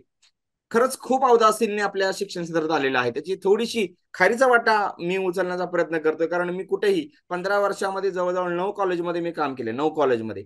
आणि प्रत्येक कॉलेजचा मला असा अनुभव आहे की शिक्षक खूप अवदासीन्यता शिक्षकामध्ये बोकाळलेली आहे किंवा पसरलेली असं आपण म्हणूया. परंतु आमच्याकडं जमा होणारे शिक्षक हे खूप ऍक्टिव्ह आहेत याचा आपल्याला प्रत्यय सर्वांना द्यायचा आहे. आणि सरांना अनुभव द्यायचा आहे की असे जर प्रश्न आले तर सरांनाही उत्तर कसं द्यायचं ते थोडस एक आपण अनुभूती देऊया या ठिकाणी. असो मी सरांना विचारतो की जो छोटा डिवाइस कारण मला खर खरंच मायक्रोच खूप पहिल्यापासूनच फॅसिनेशन होतं. माझ्याकडे सेल्फ प्रोजेक्टर आहे. मी जे सध्या बारावीच्या वर्गात आमच्या वापरतो कारण सगळ्याच वर्गामध्ये प्रोजेक्टर नाहीये. त्यामुळं मी काय केलं मग आणि छोटासा वर्ग आहे बारावीला नीटसाठी विद्यार्थी आमचे संख्येनं कमी असल्यामुळं त्या ठिकाणी संस्थेनं लावलेलंच नाहीये. त्यामुळे मी म्हटलं मी माझा आणतो आणि विद्यार्थी त्यांना एकदा शिकवलं पहिल्या दिवशी कसं लावायचं कसं जोडायचं. माझ्या स्टाफ रूममध्ये आणून ते ठेवतात माझ्या टेबल समोर. परत नेतात परत आणतात परत नेतात. तर मग मी खूप शोधत होतो परंतु सरांनी जेव्हा आता बरं झालं हा सेकंड सेशन आपण घेतला. प्रात्यक्षिक वैयक्तिक स्तरावरती मी घेण्याचा प्रयत्न करणार आहे कारण आता सरांचे आपण पाहूया कशा पद्धतीनं ते काय चालतं काय नाही. सरांनी जे सीपीयूच्या अगोदर तो सीपीयू सुद्धा घ्यायचा आहे मला. आणि त्याच्या अगोदरचं जे सरांनी दाखवलं डिव्हाइस ते त्याच्यावरून आपण काय करू शकतो? ते थोडस सरांनी म्हणजे वाध्यापनात त्याचा वापर कसा करता येईल ते थोडस सांगावं सरांनी. थोडक्यात हो, प्रश्न भरपूर येणार आहेत. हे जे डिव्हाइस आहे ह्याचे जे बोर्ड आहेत अमेरिकेने पहिल्यांदा राजबेरी पाय हा सात वर्षापूर्वी बनवला होता. उद्देश त्यांचा एवढा होता की एक डिव्हाइस पाहिजे की जे तुमच्या एटीएम कार्डच्या आकाराचं असायला पाहिजे. ओके त्यावरती मी माझ्या म्हणजे त्या विद्यार्थ्यांना अमेरिकेमध्ये जे काही स्टुडंट्स आहेत म्हणजे प्रत्येकाची आवड वेगळी असते. प्रत्येकामध्ये एक राजहंस दडलेला असतो. तो फक्त आपल्या शिक्षकांनी शोधायचा असतो. याला कसली आवड आहे? बरोबर? तर याच्यामध्ये त्यांना असं वाटत होतं की ट्रान्झिस्टर रेजिस्टर कॅपॅसिटर हे नाव त्यांनी ऐकण्यापेक्षा त्यांना हाताळता यायला पाहिजे. ते पण डिव्हाइसेस चालू असताना त्यांना शॉकप्रूफ अशा पद्धतीने त्या पद्धतीचं स्ट्रक्चर असलेलं काही डिव्हाइस यायला पाहिजे. तर रासबेरी पाय नावाचं एक डिव्हाइस पहिल्यांदा अमेरिकेने आणलं. साधारणतः ते दोन हजारच्या दरम्यान असेल इसवी सन दोन हजार किंवा त्याही आधी थोडंफार. रासबेरीच्या आज पण व्हर्जन मिळत आहेत तर रासबेरीचं एक वैशिष्ट्य होतं की त्याच्यामध्ये फक्त लिनक्स ऑपरेटिंग सिस्टीम चालत होती. लिनक्स ही पूर्णपणे फ्री ओरिएंटेड ऑपरेटिंग सिस्टीम आहे ती फुकट मिळते आपल्याला. आणि त्याचं दुसरं वैशिष्ट्य असं आहे की त्याच्यामध्ये कुठल्याही प्रकारचे व्हायरसेस किंवा मालवेअर जे आपण ऐकतो वाचतो किंवा होतात ते होत नाहीये. त्याच्यामुळे आज आपल्या गव्हर्नमेंटनी सुद्धा मग ते महाराष्ट्र शासन असेल केंद्र सरकार असेल यांचे जे वेगवेगळे ऑफिसेस आहेत ऑर्गनायझेशन आहेत की त्यांच्यामध्ये हे लिनक्स वापरली जाते. अगदी तुमचं जर कोर्ट कचेरीचा संबंध असले तर कोर्टामध्ये सुद्धा आजकाल वर्ड वापरलं जातं. पण त्यांची जी फंडामेंटल ऑपरेटिंग सिस्टम आहे ती लायनक्स आहे. किंवा कुणी त्याला Linux Red Hat in the sense name of operating system जसं विंडोज टेन विंडोज सेव्हन तसंच त्याचं Red Hat Linux Red Hat लाल टोपी. ओके एवढं लक्षात ठेवायचं. तर ती रेड हॅट लिनक्स त्यावरती राजबेरीवरती आणली गेली. परंतु गंमत अशी झाली की चीन हा सगळ्यांचा कॉपी करणारा किंवा त्याही पेक्षा पुढे जाणारा एक देश आहे आपल्याला माहिती आहे. त्याला किती नाव ठेवले तर हे नाकारता येत नाही. टेक्नॉलॉजीच्या बाबतीत ते लोक कायम प्रगतशील आहे किंवा ते त्या पद्धतीचं काम करतात. तर मग या लोकांनी राजबेरीला फाईट करण्यासाठी एक फळांची नावं असलेलं ऑरेंज पाय बनाना पाय या पद्धतीचे काही डिव्हाइस लागले त्यामध्ये हा ऑरेंज पाय आहे. ओके हे जे डिव्हाइस आहे हे सुद्धा तुम्हाला आता मोठं दिसतं. मी कॅमेऱ्याच्या समोर ठेवलंय म्हणून. आणि याच्या समोर एक फ्रेम दिलेली आहे. त्यामुळे ते डिव्हाइस थोडंसं मोठं झालेलं आहे. तर बघा म्हणजे माझा हे जे हात आहे त्याच्या केवढंच ते डिव्हाइस आहे. म्हणजे माझ्या पूर्ण अंगठ्याच्या एवढंच त्याची लांबी रुंदी आहे. ओके? तर या डिव्हाइसेस मध्ये ऑरेंज पाय हे चायना कंपनीचं डिव्हाइस आहे. हा एक चायना बोर्ड आहे. याच्यामध्ये रेडॅट लिनक्स चालते आणि याच्यासोबत अँड्रॉइड पण चालते. ओके? आता याचा वापर कोण करू शकतो? कशासाठी करू शकतो? याची किंमत काय? आहे तर साधारणतः याची किंमत साडेसात एक हजार रुपयापर्यंत हे अवेलेबल होतं. हे डिव्हाइस पूर्णपणे हा सेट ओके तर याचा वापर याची एक कम्युनिटी आहे. कम्युनिटी म्हणजे एक ग्रुप की जे लोक याच्यावरती काम करतात. याच्यावरती काम करतात म्हणजे काय? की या सॉफ्टवेअरवरती काम करतात. रेडॅक्स लिनक्समध्ये अजून काय प्रयोग करता येतील? अजून अजून काय कोडिंग करता येतील? तर यासाठी ते या बोर्डचा वापर करतात. ओके आता आम्ही काही शाळांना हे दिलेलं आहे हे प्रयोग करण्यासाठी नाही दिलेलं आहे. त्यांना अँड्रॉइड वापरण्यासाठी त्या लोकांनी हे बॉक्स घेतलेले पाच अँपियर म्हणजे तुमचा जो मोबाईल चार्जर आहे त्याच्यावरून हे डिव्हाइस चालू होतं. म्हणजे पॉवर कन्झम्पशनच्या बाबतीत बघा की ज्यांना फक्त अँड्रॉइड वापरायचे त्यांच्यासाठी हे डिव्हाइस तुम्हाला वापरता येईल. याचं नाव आहे ऑरेंज पाय ओके याच्या आधी अमेरिकेचे जे डिव्हाइस होतं त्याचं नाव होतं रासबेरी पाय ओके तर हे डिव्हाइस हे या पद्धतीचं आहे. मी तुम्हाला याचे सर्व डिटेल सांगितले. याच पद्धतीने परत सर मग हे जे पहिलं डिव्हाइस आहे तुम्ही सांगितलंय हो. त्या पद्धतीने ही माहिती मी सांगितली. आता आता पुढचा काही प्रश्न असेल कंटिन्यू करा. यामध्ये दुसरा असा एक प्रश्न आहे की सपोज हे जे डिव्हाइस आहे ते आपण म्हणजे तुमचं सीपीयू फक्त न्यायचं. सीपीयू मध्ये आपलं जर कंटेंट असेल किंवा आता म्हणजे लॅपटॉप नेण्यापेक्षा सीपीयू जर आपण अटॅच केला आपल्या वर्गात तुमचा छोटावाला ओके कॅरी करण्या म्हणजे तो तो पोर्टेबल आहेच. पण मला दुसऱ्या ठिकाणी माझ्या हो. शाळा शाळामध्ये जाऊन माझे प्रेझेंटेशन दाखवायचे असतील किंवा काही असं असेल तर त्यावेळेला तुमच्या कोणकोणत्या डिव्हाइसेसचा मला वापर होऊ शकतो त्याबद्दल काही सांगू शकाल का? कारण आमचे बरेचसे असे प्रशिक्षणार्थी आहेत यामध्ये की ते आता यामध्ये स्मिता पाटील मॅडम असतील स्मिता पाटील मॅडम आहेत का इथं? आहेत. राजश्री भोसले मॅडम आहेत. आपले एकच मिनिट हे कोणते आपले? Madam Asmita madam yes Asmita madam Angad Mishram sir वगैरे. बरेच आहेत. ते जातात ते ते स्वतः कोर्सेस घेतात क्लासेस घेतात आणि त्यांना खूप पुरस्कार सुद्धा मिळालेले आहेत. त्यामुळे शाळामध्ये जाताना त्यांच्या पर्समध्ये किंवा त्यांच्या स्कूल बॅगमध्ये बसून जर नेता आलं तर खूपच छान झालं. मग आणि जे शिक्षकामध्ये आहे की ते अवजड असतं नेणं खूप तंत्रस्नी होत नाही ते यासाठीच. कारण मॅक्रो वस्तू असतात खूप आपल्या नाही का? आणि ते त्यांना पण तुमचे जे वस्तूंचं जे ओळख करून देत आहे ना ते सर्वांपर्यंत जर पोहोचलं तर सगळे शिक्षक इझिली हो. वापरू शकतात असं मला वाटतंय. तर मला सांगा की मला एसटीचा प्रवास करून एक वीस किलोमीटर पन्नास किलोमीटर शंभर किलोमीटर लांब जायचं आहे. तर मी तुमच्या बॅगमध्ये हो. लगेच चालू झालं पाहिजे तिथं भिंतीवर. त्यांचं काहीच वापरायचं नाही मला. त्यांचं सीपी वापरायचं नाही त्यांचं हो. प्रोजेक्टर वापरायचं नाही आणि ते चालू झालं पाहिजे मोठं भिंतीवर किंवा त्यांच्या कोणत्याही बोर्डवर वगैरे. तर काय करता येईल आपल्याला? आता तुम्ही जो प्रश्न विचारला चांगला प्रश्न आहे. याच्यामध्ये आतापर्यंत किंवा आजपर्यंतचा जो पर्याय आहे तो आपण लॅपटॉपचा वापर करतो. बरोबर? लॅपटॉप मी माझा डाटा घेतो पण लॅपटॉपचं दुसरं एक ड्रॉबॅक पण सांगता येईल आपल्याला बॅटरी त्याचं चार्जिंग लवकर संपतं किंवा तो गरम होतो हे काही प्रॉब्लेम लॅपटॉपचे जनरली चालतात एका वर्षानंतर. दुसरा प्रश्न येतो की तो हँडल करणं. की तो लॅपटॉप अगदी लहान बाळासारखा हँडल करावा लागतो सगळ्यांना अनुभव आहे. त्याचा डिस्प्ले जर गेला तर बारा तेरा हजार किंवा पाच सात हजार रुपये तर आरामात निघून जातात. शिवाय तो डिस्प्ले मिळेलच त्या मॉडेलचा असं काही सांगता येत नाही. त्याऐवजी जर स्टडी पद्धतीने जर तुम्हाला तुमचा सगळा डाटा की जो विंडोज बेस्ड आहे तो जर ऍडव्हान्स पद्धतीने जर न्यायचा असेल त्याच्यामध्येच लोड करायचा असेल तुम्हाला एका बॅगमध्ये ती वस्तू घेऊन जायची असेल तर सगळ्यात पॉवरफुल युनिट म्हणजे एचपी आणि डेलचे हे सीपीयू हे एचपी कंपनीचं आहे एचपी कंपनीचे हे सीपीयू आहे ओके हे पूर्णपणे ब्रँडेड आहे ओके हे स्टँडर्ड आहे. मी सांगितलं की दोन बघा याची रुंदी किती आहे? बरोबर? दोन बोटमध्ये मला तो म्हणजे इतकीच जाडी आहे त्याची सॉरी याची जाडी एवढी आहे. आणि साधारणतः एक वीत मध्ये ते सीपीयू आपल्याला एक वीत पेक्षाही कमी अशा पद्धतीचे आहे. सिक्स्टी फाईव्ह वॅट वरून म्हणजे जसं तुमचा मोबाईल अडॅप्टर आहे त्या मोबाईल अडॅप्टर सारखंच याचा याचं सुद्धा पॉवर अडॅप्टर असतं.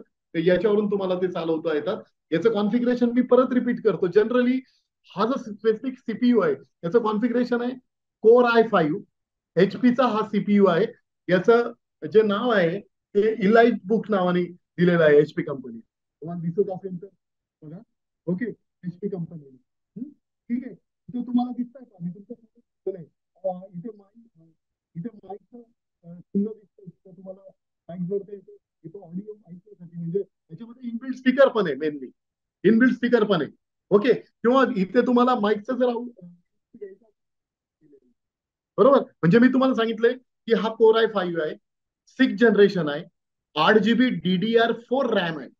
हे पण लक्षात घ्या. कारण बऱ्याच ठिकाणी बऱ्याच सीपीयू न ज्या याआधी आपण वापरलेत वापरत होतो त्याला डीडीआर थ्री रॅम असायची.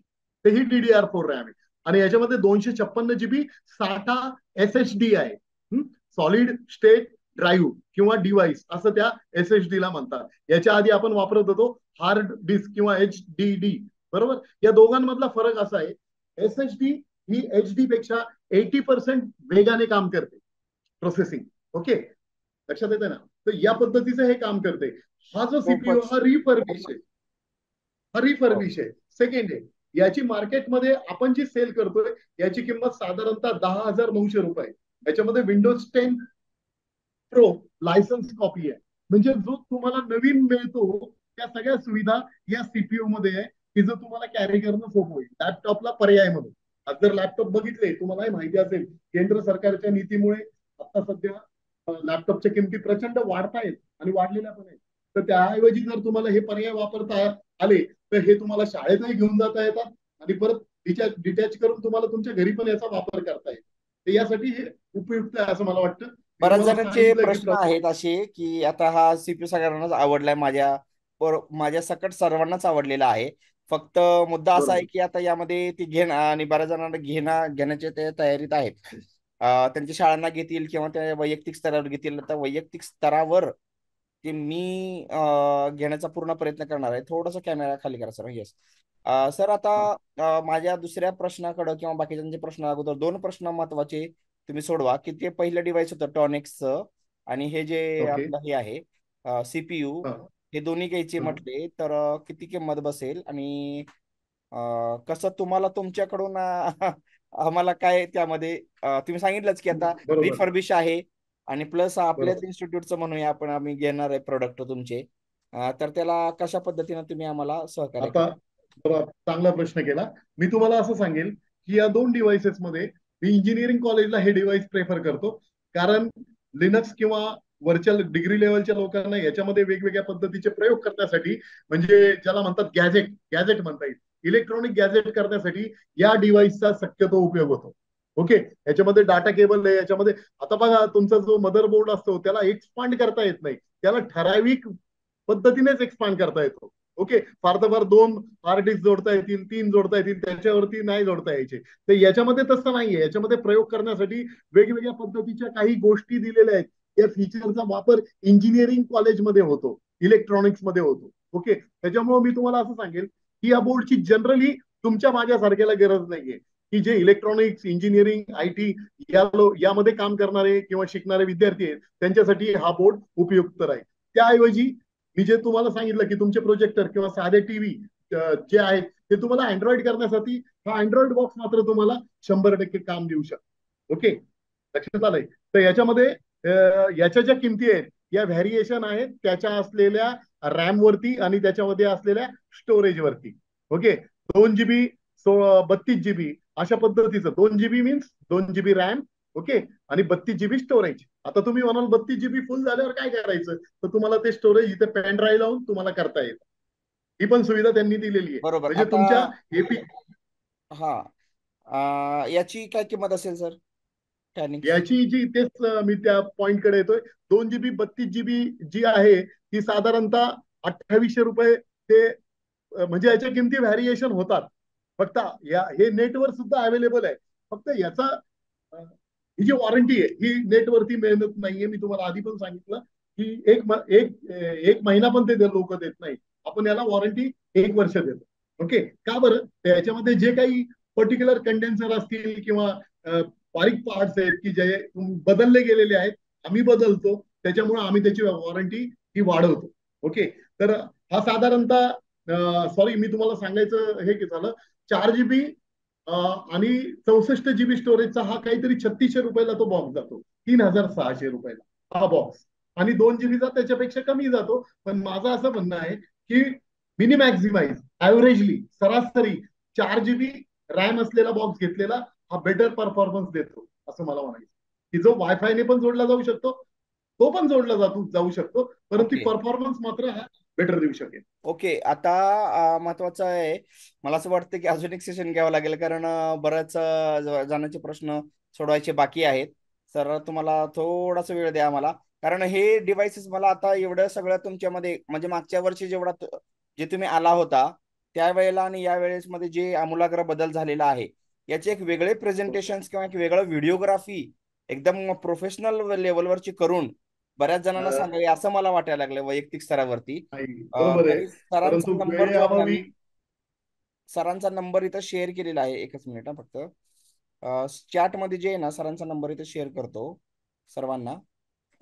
एव्हरी वन करतोय आणि तुमचे काही प्रश्न असतील मी पार्टिसिपंटला विनंती करेन की पर्सनली तुम्ही स्कूल कॉलेजमध्ये शिकवताना तुम्हाला ज्या अडचणी येतात किंवा तुमच्या ज्या डिमांड्स आहेत किंवा तुम्हाला काय वाटतं किंवा काय करायला पाहिजे? याबाबत तुमचे जर काही प्रश्न असतील तर ते खूप छान पद्धतीने आपल्याला इथे या सेशनमध्ये घेऊन एक प्रकारचं सगळ्यांचं सॉल्युशन म्हणजे मला पण अवगत होईल. जसं मी पहिल्यांदा शेख सरांच्या कॉलेजला गेल्यानंतर शेख सरांनीच माझ्यावर इतका प्रश्नांचा भडीमार केला. हो. तर मला त्यामुळे माझी आणि त्यांची दोस्ती झाली. म्हणजे मी त्यांना एकदम फ्रेंडली आणि त्यांनी सुद्धा फ्रेंडली ते विचारला. म्हणजे उगीच काहीतरी विचारायचे म्हणून नाही पण त्यांच्यामध्ये जे प्रश्न जे पीपीटी तयार करतात त्या संदर्भात त्यांना पडलेले प्रश्न त्यांनी तुरंत म्हणजे लगेचच सेशन चालू असतानाच चालू झालं त्यांचं प्रश्नाचं. तर ठीक आहे. इथे काही प्रश्न एकच मिनिट माझा तो अंगद मेश्राम सरांचा आणि माझा म्हणजे पुढचा माझा शेवटचा प्रश्न असा होता की ते डिव्हाइस मला माझ्या सॅकमध्ये नेता येईल. ओके मला माझ्या प्रोजेक्टरला हे करता येईल.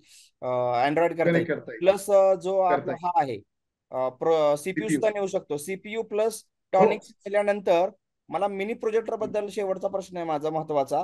आणि त्यानंतर दोन तीन प्रश्न आहेत ते घेऊया. पुढच्या सेशनचे फक्त पंधरा वीस मिनिटं आपल्याला जातील जास्तीत जास्त. कारण सात मिनिटं राहिलेले सात आठ मिनिटं राहिलेले या सेशनचे सर्वांनी परत जॉईन व्हा. फक्त दहा पंधरा मिनिटासाठी जॉईन होऊयात आपण. आणि एका ठराविक निष्कर्षापर्यंत पोहोचूयात. सरांचा नंबर मी शेअर केलेला आहे.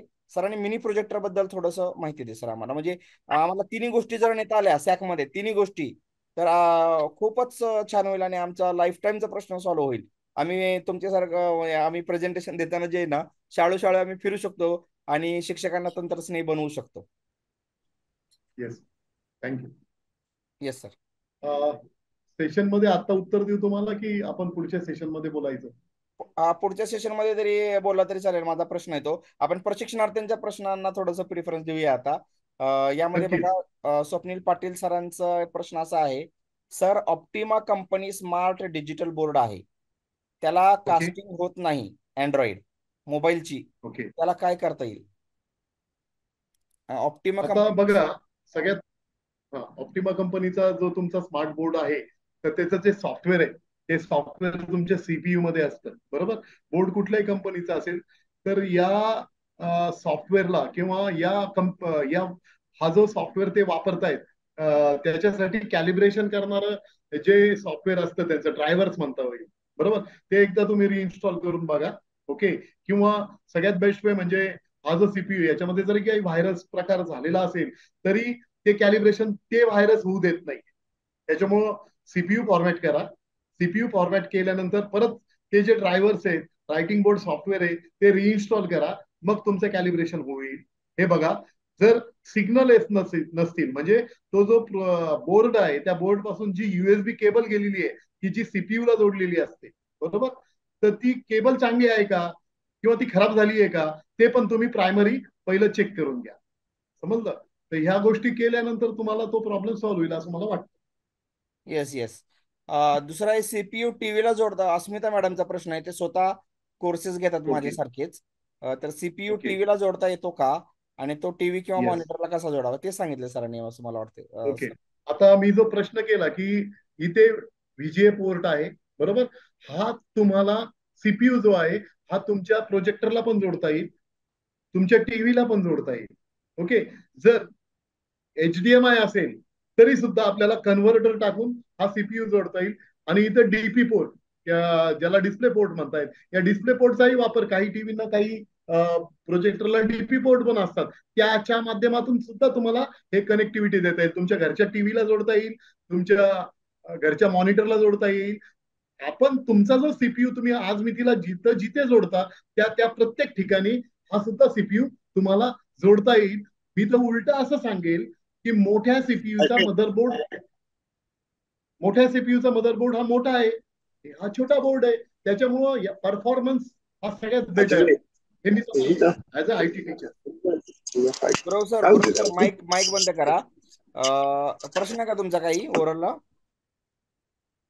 ओके बर बर. दुसऱ्या आता चार मिनिटानंतर आपण परत जॉईन होणार आहोत एका सेशनसाठी त्याच्या अगोदर मला असं सांगायचं सर्वांना की आपण सरांना सरांची माहिती का ऐकून घ्यायची आहे किंवा का आपण सरांना टाईप करतो सरांची? कारण महत्वाचं असं आहे की हे डिव्हायसेसचा परिचय जर कुणाला असेल कारण उपस्थितांपैकी बरेच तंत्रस्नेही शिक्षक आहेत. आणि कुणाला असेल तर मी सांगतो तुम्हाला की यापेक्षा वेगळे डिव्हायसेस सरांकडे आहेत.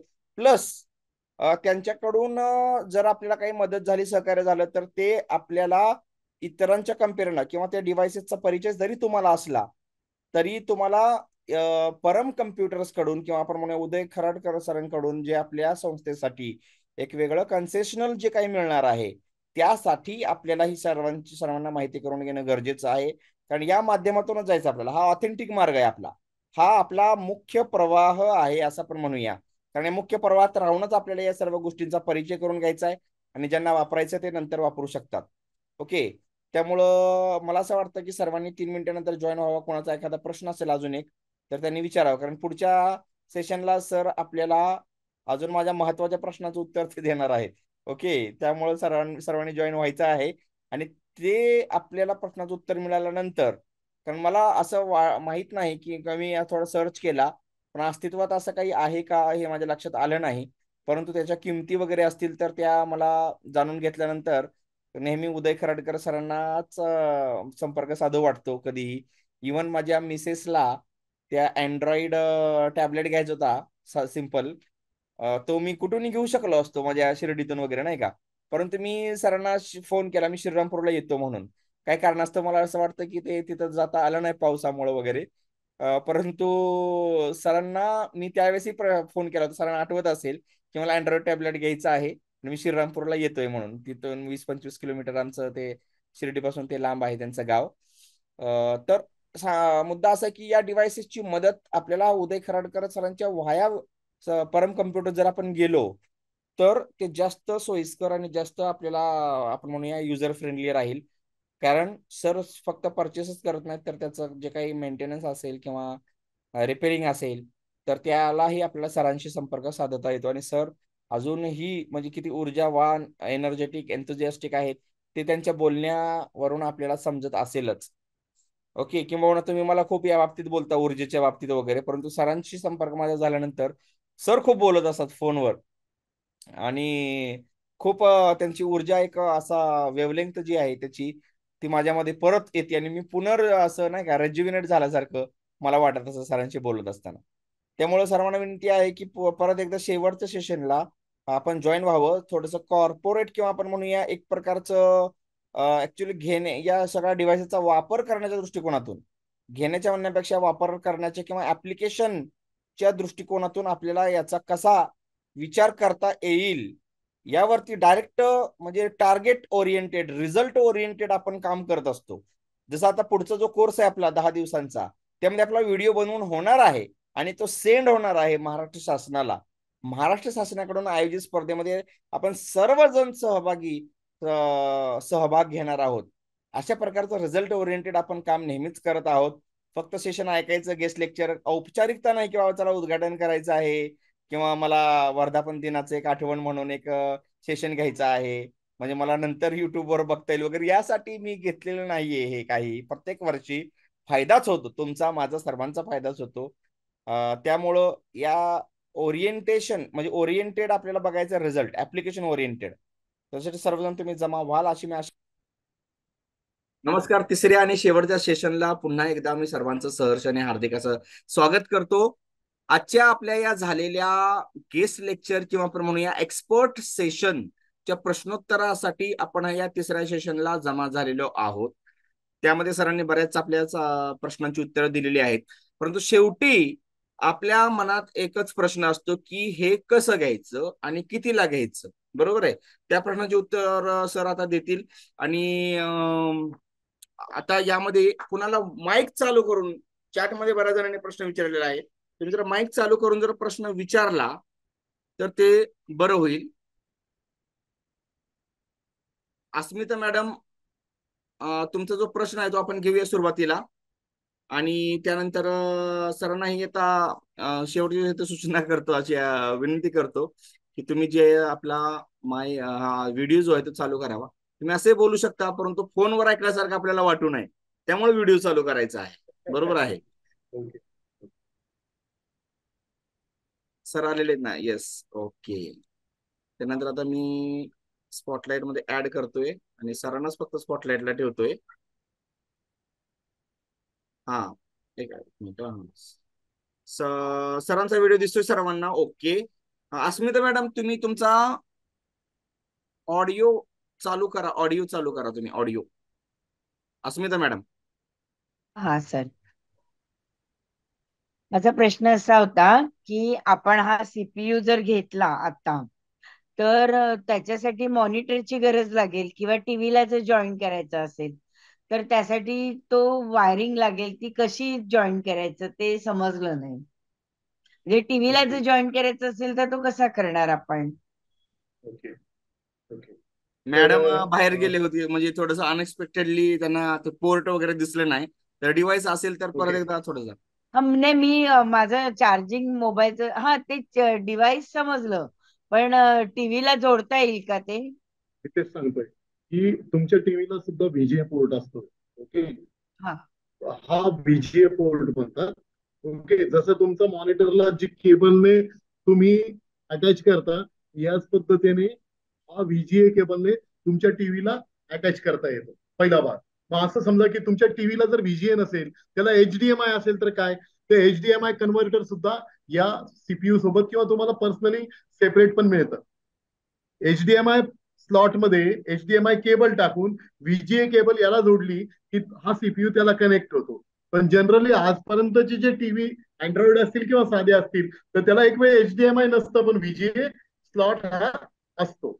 ओके? तुमच्या मॉनिटरला सुद्धा व्हीजीए असतो. ओके? तुमच्या प्रोजेक्टरला सुद्धा असतो. त्याच्यामुळे हा सीपीयू तुम्हाला या कुठल्याही डिव्हाइसेसला जे आतापर्यंत जे ट्रॅडिशनल सीपीयू आहेत ते जोडले जातात. त्यात प्रत्येक ठिकाणी हा सीपीयू तुम्हाला जोडता येईल. Okay sir. Thank you okay. हा प्रश्न रिपीट झाला होता. परंतु नवीन प्रश्नांची या ठिकाणी जास्त स्वागतार्ह आपण म्हणूया आहे. तर आपण म्हणूया अंगद मिश्रम सरांचा एक प्रश्न होता. मिनी प्रोजेक्टरबद्दल. आणि तोही माझाच होता. तर त्याबद्दल जर तुम्ही मार्गदर्शन केलं तर बरेचसे आमचे जे आहेत ऑफलाईन टीचिंग साठीचे येणारे अडथळे ते पूर्ण होतील. ठीक आहे. तर मी मी प्रोजेक्टर मॅक्सअप किंवा व्ह्युसोनिक किंवा एप्सनचे आहेत. परंतु त्यांच्या किमती या आपल्या खिशाला परवडणारा नाहीये पहिली गोष्ट. दुसरी गोष्ट जे चायना मेड मिनी प्रोजेक्टर आहेत त्यांच्या किमती कमी आहे पण त्यांचा डिस्प्ले सुद्धा फार कमी आहे.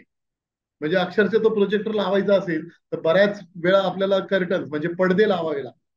मग असे प्रोजेक्टर घेऊन आपल्याला पन्नास मुलांमध्ये शंभर मुलांमध्ये सादरीकरण करताना म्हणजे प्रेझेंटेशन करताना नक्कीच ते कन्व्हिनियंट नाही आहेत आपल्यासाठी. त्याच्यामुळे स्टँडर्ड साईजचा जो प्रोजेक्टर आहे की जो आज आपण बघतो शाळा कॉलेजेसमध्ये किंवा काय की जे बिझनेस प्रोजेक्टर म्हणतात त्याला तर हे प्रोजेक्टर तुम्हाला तो एकच ऑप्शन आहे. ओके.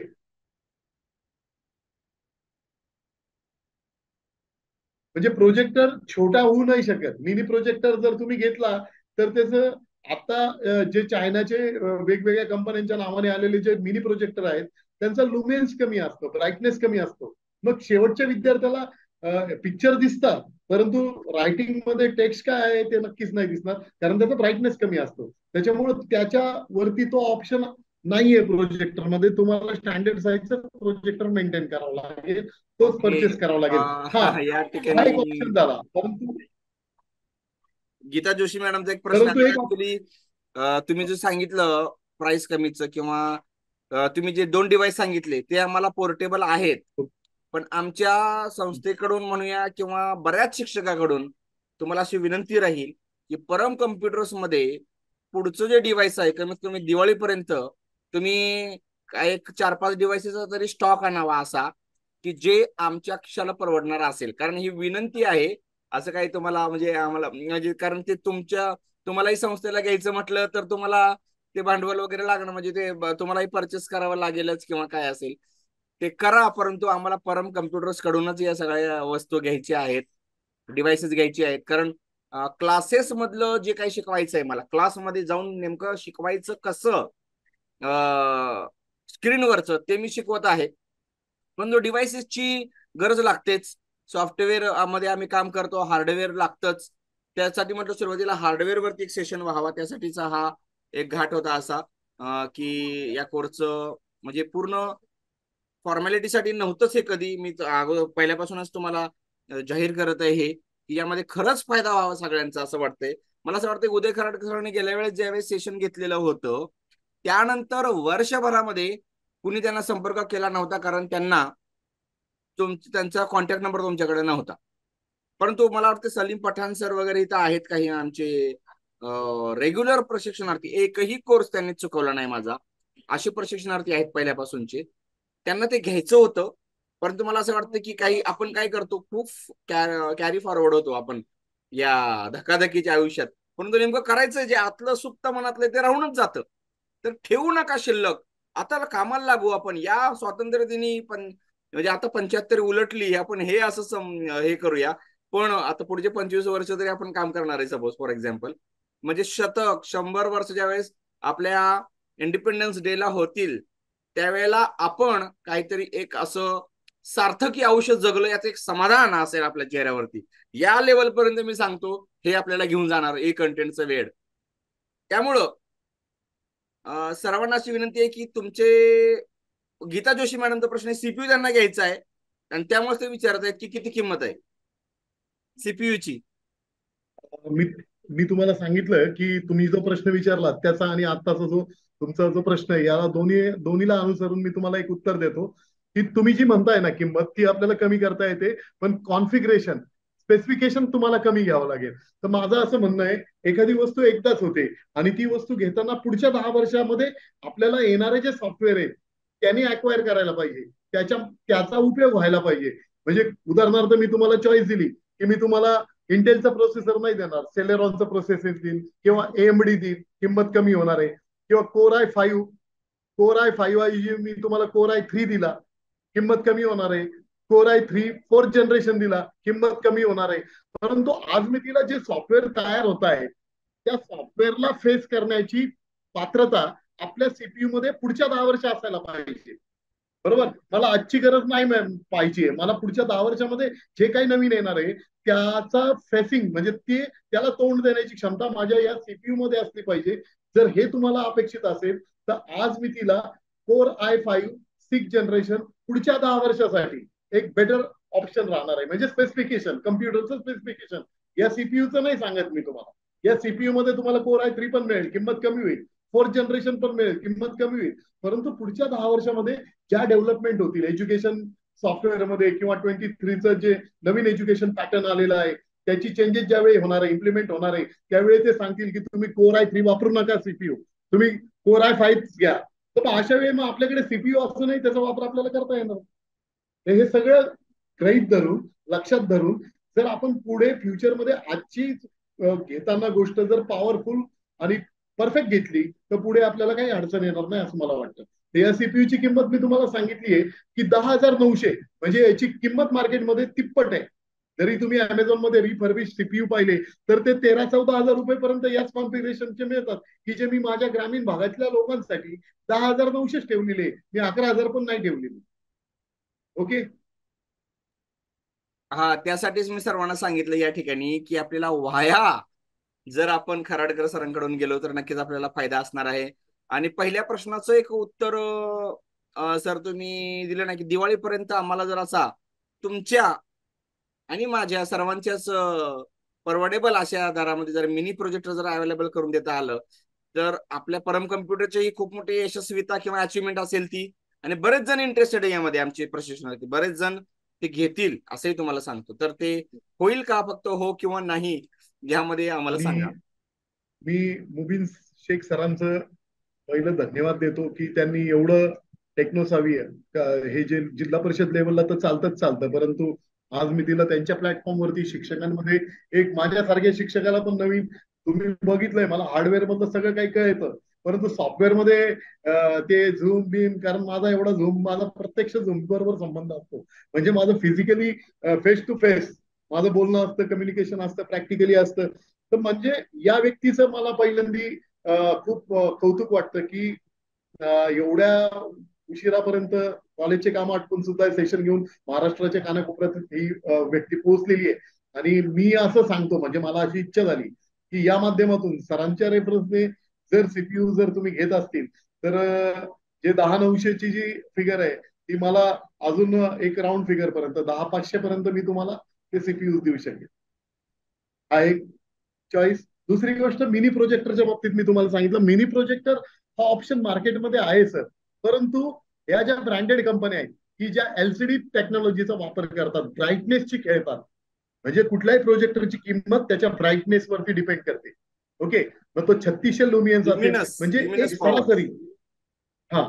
तर त्याचा ब्राईटनेस जो आहे तो तीन हजार पर्यंत असावा असं एक जनरल आहे की जो डे अँड नाईटमध्ये तुम्हाला साठ मुलांच्या क्लासरूममध्ये शेवटच्या विद्यार्थ्याला कॅरेक्टर सुद्धा दिसेल.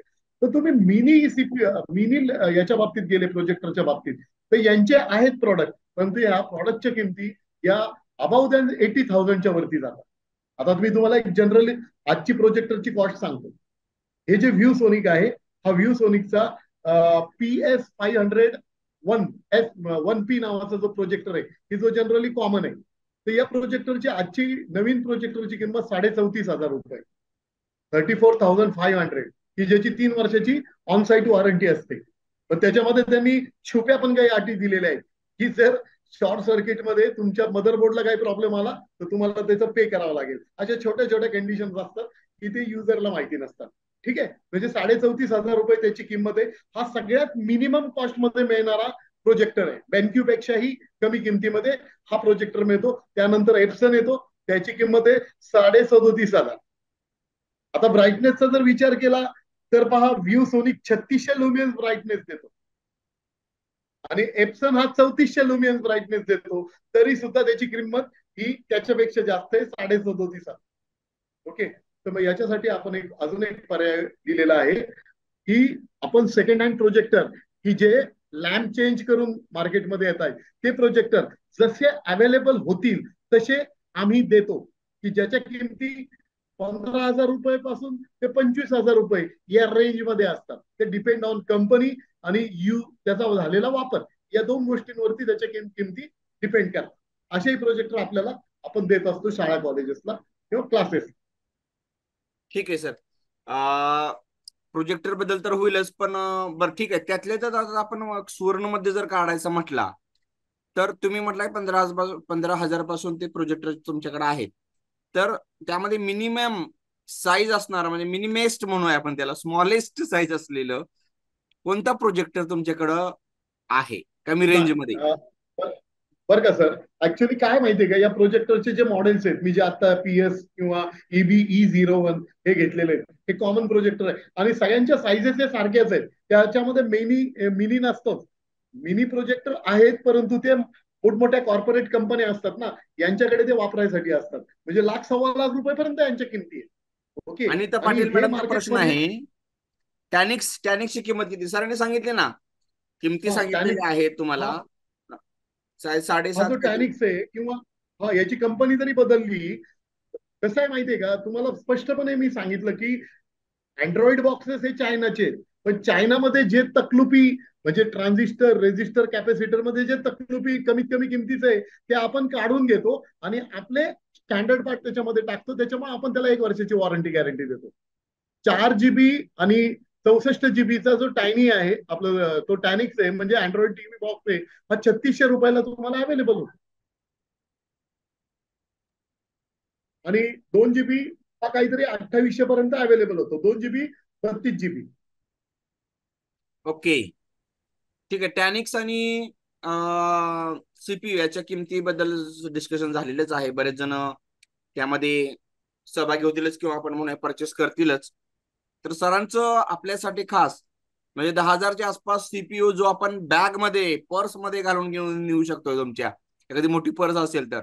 आणि टॅनिक्स म्हणजे जर त्या शाळेमध्ये अँड्रॉइड असेल सॉरी प्रोजेक्टर असेल आणि तुमच्याकडे हे दोन डिव्हाइस तुम्ही रोज जर सॅकमध्ये नेला तुमच्या तर तिथं तुमचं चांगलं काहीतरी इनोव्हेटिव्ह आणि ऍडव्हान्स असं टीचिंग लर्निंग प्रोसेस सुरू होईल असं आपण म्हणूया. तर शेवटी एक निष्कर्ष म्हणून आपण असं म्हणूया की तुम्हाला प्राइसबद्दल जास्त सांगायचं होतं. कसं घ्यायचं ते आपण त्याबद्दल सरांची एक शेवटचा प्रश्न विचारूया सरांना. आणि याचा समारोप करूया आपण.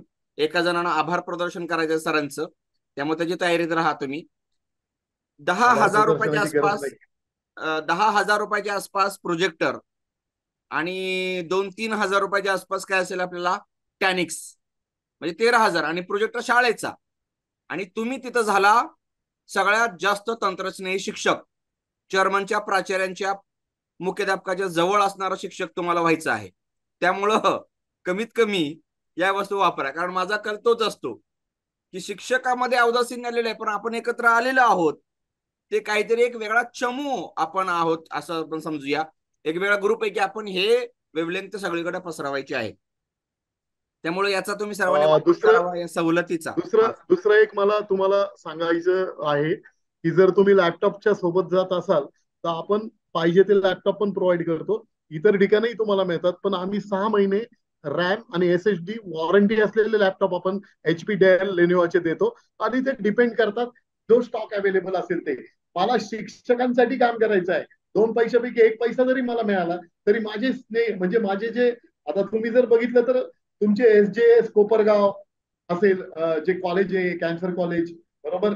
संजीवनी असेल के जे सोमय्या असतील इकडे जर बघितलं तर S M B S T Sangamner असतील प्रवरानगर लोणी परिसर असेल प्रवरा कारखाना असेल तर या ठिकाणी पण आपण कमीत कमी किमतीमध्ये या सगळ्या गोष्टी प्रोव्हाइड करतो. आणि ते पण सर्व्हिस हा मुख्य माझं धंद्याचं किंवा माझा बिझनेसचा एक क्रायटेरिया आहे की मी सर्व्हिस ही प्रॉम देतो.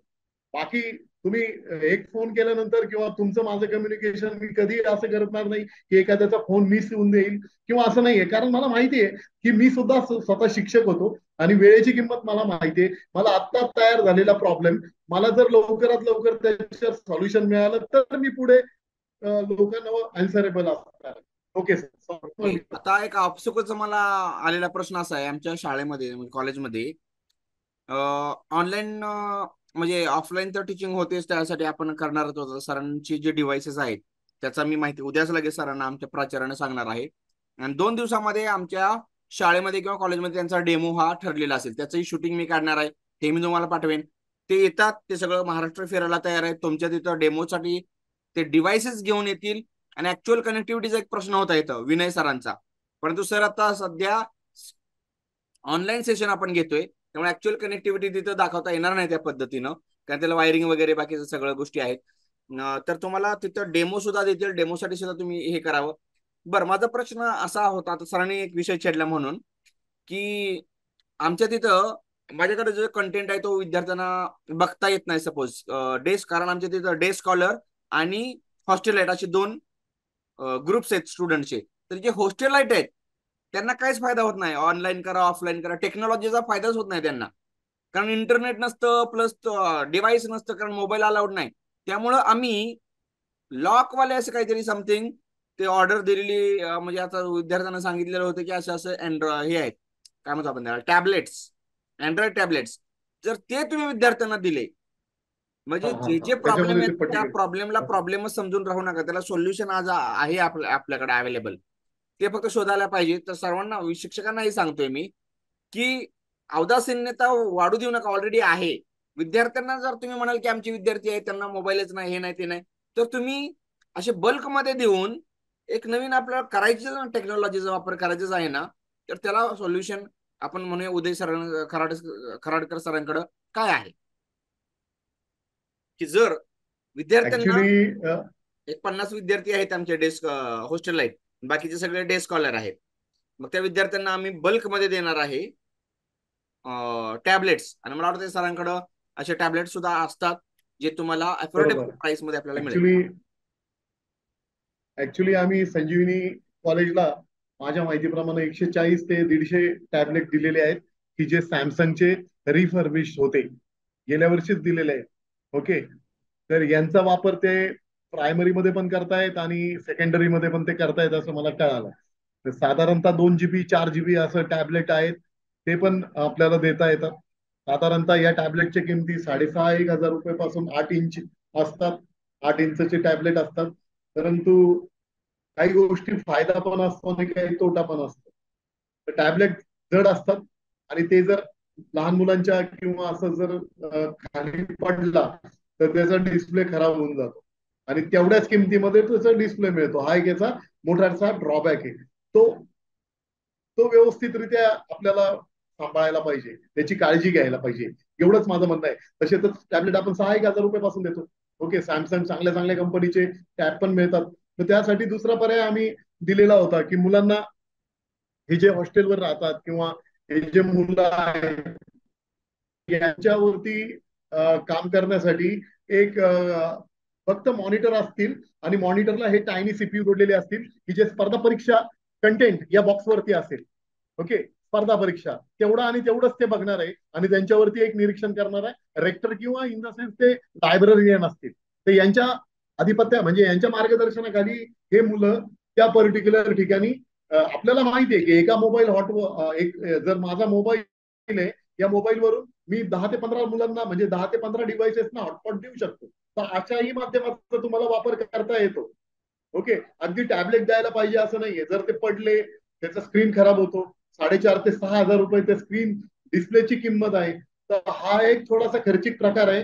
त्याला खूप काळजीपूर्वक हाताळायला पाहिजे टॅबलेटला कारण ज्यावेळी तुम्ही विद्यार्थ्यांना देणार ते अगदी व्यवस्थितच राहतील वर्षभर. याची गॅरंटी कोणी देऊ शकत नाही असं मला वाटतं.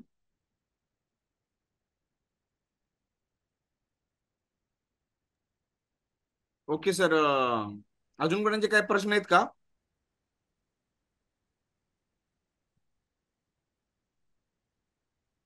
सरांचं तर आहेच कल जास्तीत जास्त तुम्हाला सर्वांना जे तुम्हाला अपेक्षित आहे ते तुमच्या संस्थेला तुम्हाला स्वतःला परवडेल असं. काहीतरी करावं असा सरांचा कला असेल आणि माझा तर तुम्हाला आहे तो माहितच आहे. कारण दोन दिवसाचं आपल्या बाजूच्याच लोकांनी या महाराष्ट्र शासनाने आयोजित केलेल्या स्पर्धेसाठी सुरू केलं. आणि दोन दिवसाची फी पंधराशे रुपये ते घेतात. आणि आपण झालं वीस दिवस झालं. दहा दिवसाचं म्हटलं आणि त्याचं डाऊट सॉल्विंग सेशन वगैरे.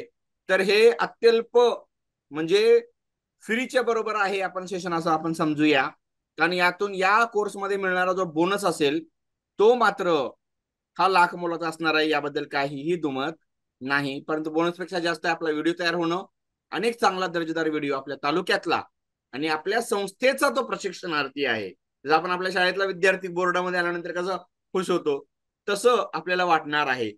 त्यामुळं शेवटची एक आभार प्रदर्शन घेण्या अगोदर सर्वांना सूचना करतो की ज्यांनी अजूनही प्रवेश घेतलेला नसेल त्यांनी उद्या बारा वाजेपर्यंत किंवा आजच्या आज तो प्रवेश घ्यावा. कारण ग्रुप तयार झालेला आहे आणि उद्या त्याचा डे वन असेल आणि डे वन झाल्यानंतर आपण लगेच उद्याच इन्स्टॉलेशन सेशनला स्टार्ट करणार आहोत. त्यामुळे कुणी राहून गेलेलं असेल तर त्यांनी प्रवेश घ्यावा. त्याचे जे काही चारशे नव्याण्णव रुपये फी त्याचा स्क्रीनशॉट पाठवा. ग्रुपमध्ये ऍड केलं जाईल. पुढचे सगळे अपडेट्स त्याच ग्रुपला धरून आपले चालू राहणार आहेत. चला तर मला शेवटी एक आवाहन करायचंय कारण सरांचा तीन सेशन सरांनी वेळ दिलेला आहे. मला असं वाटतं की सुरुवात झाली साडेआठला त्यामुळे जेवले नसतील. तुम्ही जण आता मी जेवलो नाहीये. तुम्ही किती जणांनी जेवलं नाही जेवलं मला माहीत नाही परंतु बऱ्याच जणांनी जेवण ओरकून घेतलं असेल सेशन चालू असतानाच. तो भाग वेगळा. तर अशा वेळेला अशा व्यक्तींचं वल्लींचं आपण आभार म्हणजे त्यांच्या या उपस्थितीची जाणीव आणि त्या जाणीवाचं शब्द स्वरूप म्हणजे हे आभार असतं. आणि त्या आभारासाठी कुणीही एक जण हात वर करा.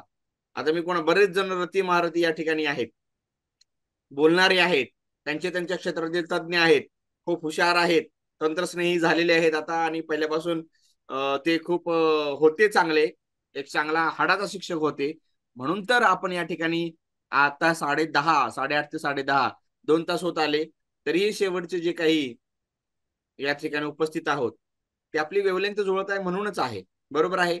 तर आभारासाठी कोण तयार त्याने हँड करा प्लीज लगेच एका मिनिटाच्या आत. सरांचे आभार मानायचे आपल्याला.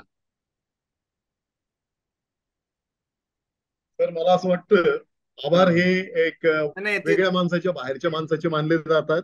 उलट मी तुमचे सगळ्यांचे पार्टिसिपंटचे पार्टिसिपंटचे पण आणि तुमचे सुद्धा आभार मानतो. तुम्ही मला ऐकून घेतलं मला संधी दिली. त्याबद्दल मी आहे. त्याबद्दल आहे त्याबद्दल तुम्ही मला कधीही डायरेक्ट त्यामुळे मला याच्यावरून कळालं. आज तर याची प्रचिती पूर्ण आली मला. की आपण सर काही असा असेल प्रॉब्लेम तर तो डायरेक्ट परम कम्प्युटरशी संपर्क आपण साधू शकतो. आणि परम कम्प्युटर्स आपल्याशी संपर्क साधू शकतील. कारण एका दिवसाच्या एका अर्ध्या दिवसाच्या नोटीसवर जर सर एवढं छान असं प्रेझेंटेशन देत असतील आणि एवढं जास्तीत जास्त कमी वेळेमध्ये जास्तीत जास्त माहिती आपल्याला प्रोव्हाइड करत असतील तर हे तर आहेच की आपलेपणा तर तो असणारच आहे. पण माझ्या आता थोडासा हा यामध्ये छुपा स्वार्थ असा आहे की माझ्या प्रशिक्षणार्थीची तयारी थोडीशी व्हावी त्या पद्धतीनं. लगेच त्यांनी तयार व्हावं. बोलता तर सगळ्यांना येतं. नॉलेज तर सगळ्यांनाच आहे. पण तयारीच्या दृष्टिकोनातून आपण फक्त अशी नाही का बघ्यांची भूमिका वाढवणारे यात कुणीच नाहीयेत. सगळेजण तयार आहेत. त्यामुळं प्रशिक्षणार्थ्यांचं थोडस बोलणं आभाराचं कसं असतं? असं नाही की मी परफेक्ट आभार मला येत नाही करता. किंवा मला बोलता येत नाही शब्द सुचत नाहीत शब्दाचं भांडार नाही म्हणून मी बोलणार नाही असं नकोय इथं इच्छाशक्ती दिसली पाहिजे तुमची किंवा तुम्ही तयार असणं गरजेचं आहे त्या ठिकाणी लगेच. बोला कोणी आहे? माईक तुम्हाला व्हिडिओ चालू करायचा नाहीये. मला वाटलं माहीत आहे साडे दहा वाजलेले आहेत. आणि त्या ठिकाणी घरी तुमच्या वेगवेगळे सोपस्कार कार्यक्रम चालू असतील. कोणाचे जेवणाचे कोणाचे टीव्ही बघायचे कोणाची झोपायची तयारी चालू असेल. आणि त्यात तुम्ही असं जर काही माईक चालू करून जोर जोरात बोलू लागला तर आता मी माझ्या घरचं वातावरण तसं तयार करून ठेवलं. त्यांना माहिती आता मला शिकावंच लागणार आहे रोज. परंतु तुमच्या घरी तसं असेलच असं नाहीये. पण तरी एक दोन मिनिटामध्ये कुणाला शेवटी याचा समारोप करू वाटतोय का? याचा अर्थाचं सेशन तुम्हाला आवडलं नाही माहिती काहीच मिळाली नाही. असं आहे का? नाही सर मॅडम आहेत कोणीच बोलत. नाही म्हणून मी म्हटलं दुसरं कोणाला तरी चान्स द्यावा दरवेळेला तर सगळ्यांना तसंच वाटलं. तर ते हौदाचा किस्सा नाही का तो? दूध दूध टाकायचं असतं त्यामध्ये. तसंच तसंच वाटलं म्हणून मी आता माईक ऑन केला. बर बर म्हटलं कोणाला पहिल्यांदा कोणाला तरी चान्स द्यावा. संस्थेची अस्मिता वाचली बनवूया आपण. तुमचं नावही अस्मिता आहे म्हणजे इज्जत वाचली आपण असं म्हणूया. नाहीतर कुणीच तयार झालं. नसतं तर सगळ्यात जास्त मला वाईट वाटलं असतं. तर अस्मिता मॅडम तुमचं स्वागत आहे. तुम्ही आभार करावं. सन्माननीय प्राध्यापक उदय खांडेकर सर यांनी सॉरी खारदेकर सर यांनी आपल्या सर्वांना उदय खराडकर. उदय खराडकर उदय खराडकर सर यांनी आपल्याला अनमोल असं हार्डवेअर बद्दलचं हार्डवेअर बद्दलची माहिती दिली. आपण सगळे तंत्रस्नेही आहोत. आपल्याला माननीय मोबिन सर यांनी सॉफ्टवेअर तंत्रज्ञानी बनवलेलंच आहे पीपीटी मास्टर बनवलेलं आहे. आणखीन वेगवेगळ्या गोष्टी आपल्याला ते नेहमीच सांगत असतात. पण हार्डवेअरमध्ये सुद्धा काही काही गोष्टी असतात ज्या आपल्याला माहिती नसतात. आपण त्या कशा पद्धतीने जॉईन करायच्या असतात? किंवा ह्या हार्डवेअरला हात लावताना सुद्धा आपल्याला भीती वाटते की आपल्याला शॉक लागेल का? आपण पिन जोडूया का? पण काही गोष्टी इतक्या सोप्या असतात आपल्याला त्या दाखवून दिल्या की आपण या छोट्याशा पोर्टेबल अशा सीपीयू ला च्या माध्यमाने आपण जर टीव्हीला सुद्धा कनेक्ट झालो म्हणजे त्याच्यासाठी मॉनिटरची गरज नाही लॅपटॉपची गरज नाही एक छोटासा पॉकेट सीपीयू घेऊन गेलो आणि शाळेमध्ये असलेल्या टीव्हीला जर आपण जॉईन केला किंवा शाळेत असलेल्या मॉनिटरला जर आपला सीपीयू मोठा आहे तर मॉनिटर नुसता उचलून वर्गात नेला आणि हा छोटा सीपीयू जर आपण कनेक्ट केला तरी सुद्धा आपण आपल्या वर्गामध्ये छानपैकी प्रेझेंटेशन आपलं दाखवू शकतो. आणि ते दाखवण्यासाठी एक छोटा बॉक्स त्यांनी दाखवला अँड्रॉइडचा तर आपल्या साध्या टीव्हीला आपण अँड्रॉइड टीव्ही कसं बनवू शकतो याचं सखोल मार्गदर्शन त्यांनी आज आपल्या सुलभ वाणीतून दिलं आणि सोप्या पद्धतीने समजावून दिलं. याबद्दल मी सन्मान्य उदय सरांचं मनपूर्वक आभार मानते. त्याचबरोबर बरोबर मोबिन सरांनी आम्हाला त्यांच्याशी भेट घडवून या सत्रामध्ये दिल्याबद्दल त्यांचेही खूप खूप धन्यवाद. थँक्यू सर धन्यवाद मॅडम खूपच चांगल्या पद्धतीने तुम्ही सर्व मुद्दे अधोरेखित केलेले आहेत कमी वेळेमध्ये. शेवटचे पाच मिनिट राहिलेले आहेत. तरी सरांचं म्हणजे थँक्यू किंवा धन्यवाद किंवा आभार. या तीन शब्द तीन अक्षरी एक शब्द जे आहे आभार. त्या एका शब्दानं काही त्यांची उतराई होत नाही त्यांनी जे आज आपल्याला दिलंय. कारण एक जस्ट एक भावनिक दिलासा तरी आपल्याला वाटतो की असं असं मला करायचंय. मग काय चला परम कम्प्युटर्सला विचारूया असं आपण म्हणू शकतो. मला असं वाटतं की नंबर तुमच्याशी मी शेअर केलेला आहे. कोणाला मिळालेलं नसेल तर ते मला ते पर्सनली नाही तर तुम्ही संपर्क साधू शकता. मी त्यांचा नंबर शेअर करतो. आणि कोणाला काहीही असेल तर तुम्ही व्हाया उदय खराडकर सरांकडून जावं असं मला वाटतं. म्हणजे शाळेत काहीतरी निमित्त असेल एखादा असं तयार करायचं एक नवीन कारण होणारच आहे. भविष्यात हे येणार आहे आणि हे होणार आहे. न्यू एज्युकेशन पॉलिसीनुसार नवीन राष्ट्रीय शैक्षणिक धोरणानुसार त्यामध्ये काय असेल हेच मुद्दे असतात. आणि ते ऍक्च्युअली प्रॅक्टिकल तत्व ग्राउंड लेवलला कोणीच काय सांगत नाही. ऍक्च्युअली नेमकं काय करायचं आम्ही? नवीन शैक्षणिक धोरण म्हणजे नेमकं काय? हे फक्त एवढे असे बंचेसच्या बंचेस नुसतं थेरॉटिकली लिहून लिहून लिहून त्याचा जो सार आहे ना अर्क अर्करूपी सत्व या ठिकाणी देण्याचा काही लोक प्रयत्न करत असतात. त्यांच्याकडे दुर्लक्ष आहे. विद्यापीठाचं शाळेचं महाविद्यालयाचं शिक्षकांचं. तर ही अशी जी उदारमनाची जी लोक असतात ना त्यांनाच आपल्याला शेवटी बोलवावं लागतं. आणि तर हे सगळं सेटअप बसत असतो. आणि आपण कसं आहे नाव मोठं लक्षण कुठेही करायचं नाही आपल्याला. असतात कंपन्या काही मोठ्या मोठ्या परंतु उदय उदय सरांची जी आहे आपल्या परम कम्प्युटर्स नसेल ती एवढी तुम्हाला माहीत. परंतु आता तुम्हाला सर्वांना ते जवळजवळ माहीत होत आहे. तो एक भाग आहे की आपणच आपल्या माणसांना आपण म्हणूया भूमिपुत्रांना महाराष्ट्रातील. कारण आपण बोलतोय फॉरेनर आणि ते मग अव्वाच्या सव्वा त्यांच्या किमती असतात. आणि बाकीचं त्यांचा मेंटेनन्स आला की कुठं तुम्ही जाऊन त्या सॅन फ्रान्सिस्को आणि कॉली कॅलिफोर्नियाला फोन करणार आहात. बरोबर आहे की नाही? तर आपण सर्वजण असे मराठमोळे आहोत जणू काही की नाही का? आणि त्यासाठी अशा लोकांची ओळख आणि आपला मराठी माणूस त्याची कंपनी आणि माझं काहीतरी आपल्या दोघांचं हे त्यामध्ये जे आहे ते भरभराट झाली पाहिजे. हा हेतू यामध्ये आहे तुमचाही फायदा यामध्ये बघितला जातोयच. तरी ऍटलिस्ट आपल्याला डिव्हायसेसची ओळख तरी झालेली आहे. बरेच जण मला माहीत आहे की नॉन ग्रँटेबल वर माझ्यासारखे काम करत असतील. बरोबर आहे की नाही?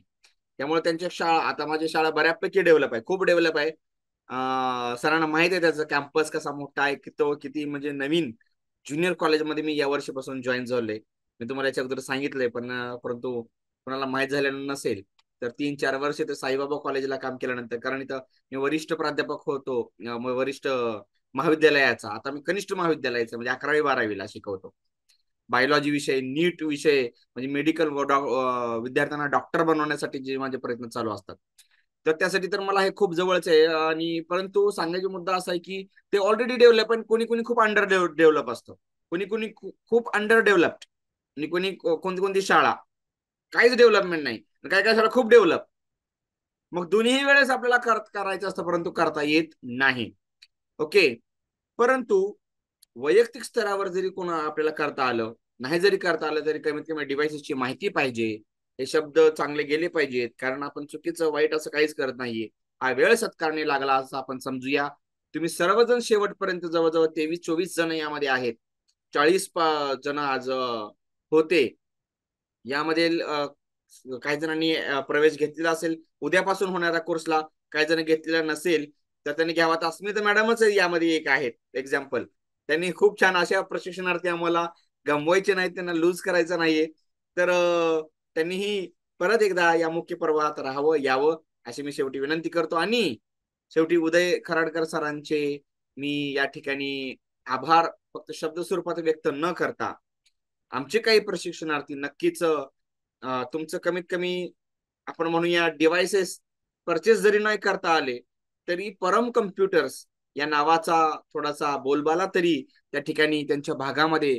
कारण जवळजवळ मी सरांना सांगायला आवडेल की दोन हजार वीस पंधरा ऑगस्ट दोन हजार वीस ते पंधरा ऑगस्ट दोन हजार तेवीस या तीन वर्षामध्ये महाराष्ट्रातील एकही तालुका असा राहिलेला नसेल की कोणत्या ना कोणत्या कोर्सला कुठून ना कुठून असे आमच्याकडं आलेले आहेत प्रशिक्षणार्थी. त्यामुळं जर त्यांच्या तालुक्यामध्ये त्यांनी हे नाव जर केलं तरी सुद्धा आजच्या या सेशनचं सार्थक झालं आणि तुम्हालाही एक प्रकारचं मानसिक समाधान वाटेल. कारण तुमचा लॉस त्यामध्ये काहीच नाहीये. पण गेन मात्र होईल. तो मानसिक स्तरावरचा होईल भावनिक स्तरावरचा होईल. जरी आर्थिक स्वरूपावरचा नसला तरी. त्यामुळं हे माउथ पब्लिसिटी नच जास्त आपण म्हणतो ना ईमेल ना हे सगळ्यात वेग वेगवान असं संवादाचं माध्यम नाहीये. ईमेल हे वेगवान संवादाचं माध्यम नाही तर फिमेल हे संवादाचं वेगवान माध्यम आहे. तर अस्मिता मॅडम राजश्री भोसले मॅडम वगैरे बरेच इथं आपले ज्योत्सना बास्ती मॅडम असतील